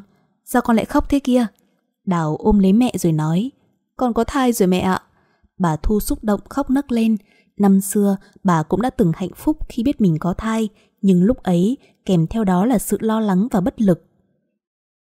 Mẹ cũng đã từng rất hạnh phúc khi có con. Hôm nay, mẹ lại càng hạnh phúc hơn khi đón đứa cháu ngoại đầu tiên. Mẹ luôn cầu mong cho con hạnh phúc và sống thay phần đời của mẹ còn lại. Đào đưa tay, sẽ mấy lọn tóc trên trán của bà Thu. Mẹ yên tâm nhé, con sẽ sống tốt và sống hạnh phúc. Về phần bà Mến, nghe tin con gái có thai, bà cũng nhanh chóng khăn gói đi vào để chăm sóc cho Đào. Nhìn mẹ tay sách nách mang mà Đào thương mẹ vô cùng. Mẹ ơi, sao mẹ mang nhiều đồ vậy? Ở trong này con có thiếu ăn gì đâu. Bà Mến nhìn con gái. Mẹ biết là trong này không thiếu gì đồ ăn, nhưng đây là đồ sạch, tự tay mẹ chồng và nuôi. Mẹ muốn cháu ngoại của mẹ sinh ra phải được khỏe mạnh thông minh. Đào đi lại ôm lấy mẹ, cô cảm thấy hạnh phúc khi bên cạnh mình luôn có những người thân, luôn yêu và dành cho cô những tình cảm đặc biệt. Con cảm ơn mẹ rất nhiều, nếu không có mẹ thì sẽ không có con ngày hôm nay. Bà mến mắng yêu con gái. Lại bắt đầu mít ướt rồi đấy, giờ chuẩn bị làm mẹ rồi, không được khóc nhè nữa nghe chưa? Đào gật đầu đáp lời. Con biết rồi, con sẽ cố gắng trở thành một người mẹ tốt giống như mẹ là được. Trái ngược với sự hạnh phúc ấy của Đào, đó là sự ghen tị và tức tối trong lòng của Ngọc. Cô ta ngồi ủ rũ ở một góc bàn trong một quán bar náo nhiệt, trên tay cầm điếu thuốc, lâu lâu lại bỏ vào miệng rít một hơi thật mạnh. Thấy vậy, Dũng bạn của cô ta đi lại hỏi. Ngọc, sao nhìn em chán đời vậy? Ngọc đưa mắt sang buồn bã nhìn Dũng. Em đang thất tình, em không ngờ người em yêu lại vào tay của người khác. Nhìn con nhỏ đó ngày ngày bên cạnh anh ấy, mà em muốn giết nó ngay lập tức. Dũng ghé vào tai cô nói nhỏ. Chuyện nhỏ như con thỏ, muốn cho cô ta biến mất có gì khó khăn đâu. Khuôn mặt của Ngọc dần biến sắc. Anh đang nói linh tinh cái gì vậy? Chuyện này không đùa được đâu. Dũng cười ha hả. Em nhìn vậy mà cũng non gan thật. Em quên anh là Dũng mặt sẹo sao? Chỉ cần em xì ra cho anh một chút tiền thì điều em muốn sẽ được thực hiện ngay lập tức thôi. Hắn ta vừa nói, vừa đưa tay vuốt vào mái tóc suôn mượt của Ngọc, Ngọc ngước mắt lên nhìn hắn. Chuyện này cũng được sao? Được chứ, anh không muốn nhìn thấy một cô gái xinh đẹp như em, ngày ngày lại phải ôm một cục tức trong lòng. Anh sót lắm, em hiểu không? Hắn ta vừa nói vừa cười, khiến cho vết sẹo trên má hắn lộ rõ. Vậy anh hãy giúp em trừ khử con nhỏ xấu xa đó đi. Ok em, vì em thì chuyện gì anh cũng làm được. Ngọc nhìn hắn rồi nở một nụ cười nham hiểm. Một tháng sau, hôm nay Đào có lịch hẹn đi khám thai vì Vinh và ông Hoàng bận việc với lại hai mẹ của cô cũng có hẹn đi chùa cầu bình an nên cô tự đi khám một mình. Trước khi đi, Vinh gọi điện hỏi cô. Đào ơi, có gì ngày mai anh về chờ em đi khám được không? Cho em đi một mình anh không yên tâm. Đào chấn an tinh thần của Vinh. Không sao đâu anh, em bắt taxi đi rồi ghé vào chợ mua ít đồ nữa. Lâu rồi em không ra ngoài nên là nhân dịp này đi dạo một vòng cho mát. Ở đầu dây bên kia Vinh trả lời Nếu em đã quyết định như vậy Thì để anh bảo tài xế chở em đi Thôi không cần đâu, Em thích đi một mình cho thoải mái, Em mua đồ lâu nên là không muốn người khác chờ. Ừ vậy thì tùy em, Nhớ phải gọi điện cho anh nhé Vâng em biết rồi. Cất điện thoại vào túi, Đào đi lại tủ, chọn một cái váy thích hợp để mặc vào. Mấy bữa nay cô cũng đỡ mệt, Nên thấy tinh thần thoải mái hơn một chút. Đứng ngắm mình trong gương một hồi, Rồi cô cũng xuống dặn chị giúp việc. Chị ơi, hôm nay không có ai ở nhà, Chị không phải nấu cơm đâu nhá. Em đi khám thai rồi ra ngoài ăn luôn. Chị giúp việc vui vẻ đáp lời cô. Dạ tôi biết rồi thưa mợ. Đến bệnh viện, Đào làm xong mọi thủ tục rồi bắt đầu vào khám. Khi có được kết quả siêu âm từ bác sĩ, Cô vội lấy điện thoại ra chụp gửi cho Vinh. Anh xem con chúng ta này. Những dòng tin nhắn yêu thương Được Vinh soạn gửi sang cho cô. Yêu thương hai mẹ con nhiều lắm. Đào đọc xong, Cô ấn hình trái tim gửi sang cho anh, Rồi cất điện thoại vào túi và đi về. Vừa ra tới cổng bệnh viện, Cô thấy một chiếc taxi đang đỗ ở gần đó liền gọi lớn. Một lúc sau, Anh tài xế mở cửa ra hỏi, Cô muốn đi đâu? Đào trả lời, Tôi muốn đi ra chợ mua ít đồ. Vậy thì mời cô lên xe. Đào định mở cửa ngồi ở sau, Nhưng anh tài xế nhanh chóng nói, Cô ngồi trước được không? Cô thông cảm nhé Hồi nãy tôi có chở khách, Họ làm đổ nước vào ghế nên tôi chưa lau được. Vừa mới trả khách xuống là cô gọi liền luôn. Đào vui vẻ đáp lời Dạ vậy cũng được. Anh tài xế tươi cười. Cảm ơn cô. Đi được một đoạn, Đào thấy anh tài xế đi sai đường thì liền nhắc. Hình như là anh đi sai đường rồi thì phải. Anh tài xế vẫn ngồi im không trả lời cô. Sao anh không trả lời tôi vậy? Tôi nói là anh đi sai đường rồi. Cô chưa kịp nói hết câu Thì bất ngờ ở phía sau Có một người mặc bộ đồ màu đen Lấy một chiếc khăn bịt vào miệng của cô. Cô chưa kịp phản ứng lại Thì trước mắt cô đã là một màu đen tối. Đến khi tỉnh lại Đào hoàng hồn khi thấy mình đang nằm trong một căn phòng lạ hoắc, Chân và tay đều bị trói lại hết. Lúc này cả người cô run lên từng hồi dữ dội, Cô sợ tới mức mồ hôi trên trán đổ ra như mưa. Chợt ở ngoài có tiếng bước chân, Một lúc sau cánh cửa phòng mở ra, Hai tên đàn ông với khuôn mặt hung dữ đi vào.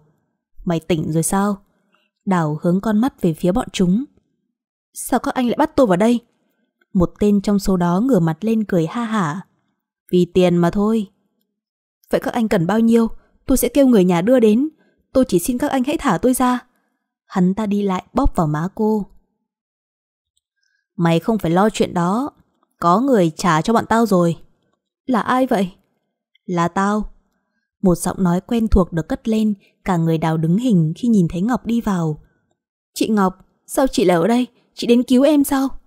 Ngọc với khuôn mặt độc ác Đi lại tát vào má cô mấy cái liên tục. Ngây ngô, Tao có bị điên đâu, Mà đến đây cứu mày. Đào dần hiểu ra mọi chuyện. Vậy chị chính là người đã bắt tôi vào đây. Cô ta nở một nụ cười nham hiểm. Đúng, Là tao đã cho người bắt mày đấy. Tao ghét mày, Vì mày mà tao phải mất anh Vinh. Mày có biết không, Anh Vinh chính là mối tình đầu Và cũng là người mà tao yêu nhất không? Vậy tất cả cũng chỉ vì một chữ tình. Chuyện yêu đương là do duyên nợ với nhau. Tại sao chị lại đổ lỗi cho tôi như vậy chứ? Ngọc tức giận Đi lại tát cho Đào thêm một cái nữa. Im mồm đi. Mày còn nói nữa Là tao sẽ giết mày ngay bây giờ luôn đấy. Đào bây giờ như cá nằm trên thớt Nếu cô mà phản kháng lại Có khi sẽ mất mạng như chơi. Còn về phía Vinh Anh về sớm hơn mọi người trong nhà. Thấy Đào không có ở nhà Nên anh mới hỏi chị giúp việc. Chị ơi, vợ tôi chưa về sao? Chị giúp việc đáp lời Dạ tôi chưa thấy mợ về thưa cậu. Vinh lo lắng lấy điện thoại ra gọi. Sao số điện thoại cuối lại thuê bao chứ? Anh lầm bẩm trong miệng Rồi cũng quay sang hỏi chị giúp việc thêm một lần nữa. Hôm nay cuối có gọi điện về nhà không chị? Dạ không. Chỉ là trước lúc đi Mợ ấy bảo tôi không phải nấu cơm cho cả nhà thôi. Vinh im lặng một lát rồi nói.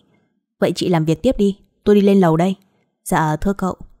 Cứ mỗi giây đồng hồ trôi qua là ruột gan của Vinh lại nóng như lửa đốt, anh gọi hàng chục cuộc điện thoại cho Đào nhưng luôn trong tình trạng thuê bao. Đến tối mọi người về hết, ai cũng tá hỏa khi biết tin Đào mất tích. Con đã báo công an chưa? Con Đào nó mà bị làm sao thì mẹ sống sao nổi đây? Giọng của bà Thu khóc miếu máu khi nói với Vinh. Mẹ yên tâm đi, con đã báo công an rồi, họ sẽ nhanh chóng tìm ra cô ấy thôi. Bây giờ trong nhà, mọi người đều lo lắng đứng ngồi không yên, Vinh đã cho người đi khắp các ngõ ngách của thành phố để tìm kiếm Đào, nhưng không có một tin tức nào cả. Qua ngày hôm sau, đúng lúc Tuệ Lâm đi nước ngoài về, nhân cơ hội này Ngọc nhiệt tình đi đón Tuệ Lâm với mục đích đánh lạc hướng tất cả mọi người trong nhà. Con chào mọi người. Bà Thu với khuôn mặt buồn bã ra đón Tuệ Lâm và Ngọc. Hai đứa về rồi sao? Tuệ Lâm xị mặt nói lời trách móc mọi người. Sao mọi người biết con về mà không ra đón con vậy? Vinh ngồi ở ghế đáp lời em gái. Em vào nhà thay đồ nghỉ ngơi đi. Nhà mình xảy ra chuyện lớn rồi. Tuệ Lâm ngạc nhiên. Xảy ra chuyện gì? Sao mọi người không cho em biết với? Chị dâu của con mất tích rồi. Cả nhà bây giờ đang lo sốt vó lên đây này. Tuệ Lâm với khuôn mặt lo lắng hỏi lại. Trời ơi, chị ấy mất tích khi nào ạ? Chẳng phải là chị ấy đang có thai sao? Bị mất liên lạc từ chiều hôm qua, giờ ai cũng lo lắng, không biết tình hình chị con sao nữa. Ngọc đứng cạnh, giả bộ hốt hoảng. Ý bác nói là em Đào mất tích sao ạ? Ừ cháu ạ. Ngọc với vẻ mặt thương xót. Thương em ấy quá, bụng mang dạ chửa như vậy thì làm sao được chứ? Ừ, giờ chỉ cầu mong cho con bé được an toàn thôi. Ngồi chơi một lát, Ngọc cũng xin phép ra về, cô ta hả hê lái xe tới chỗ của Đào. Đến nơi cô ta đi lại ngồi xuống bên cạnh Đào rồi nói Đào ơi, mày có biết tao mới đi đâu về không? Đào rất mệt, không đủ sức để nhìn cô ta nữa. Tôi không biết. Tao mới đến nhà mày về đấy. Mọi người ai cũng lo cho mày lắm.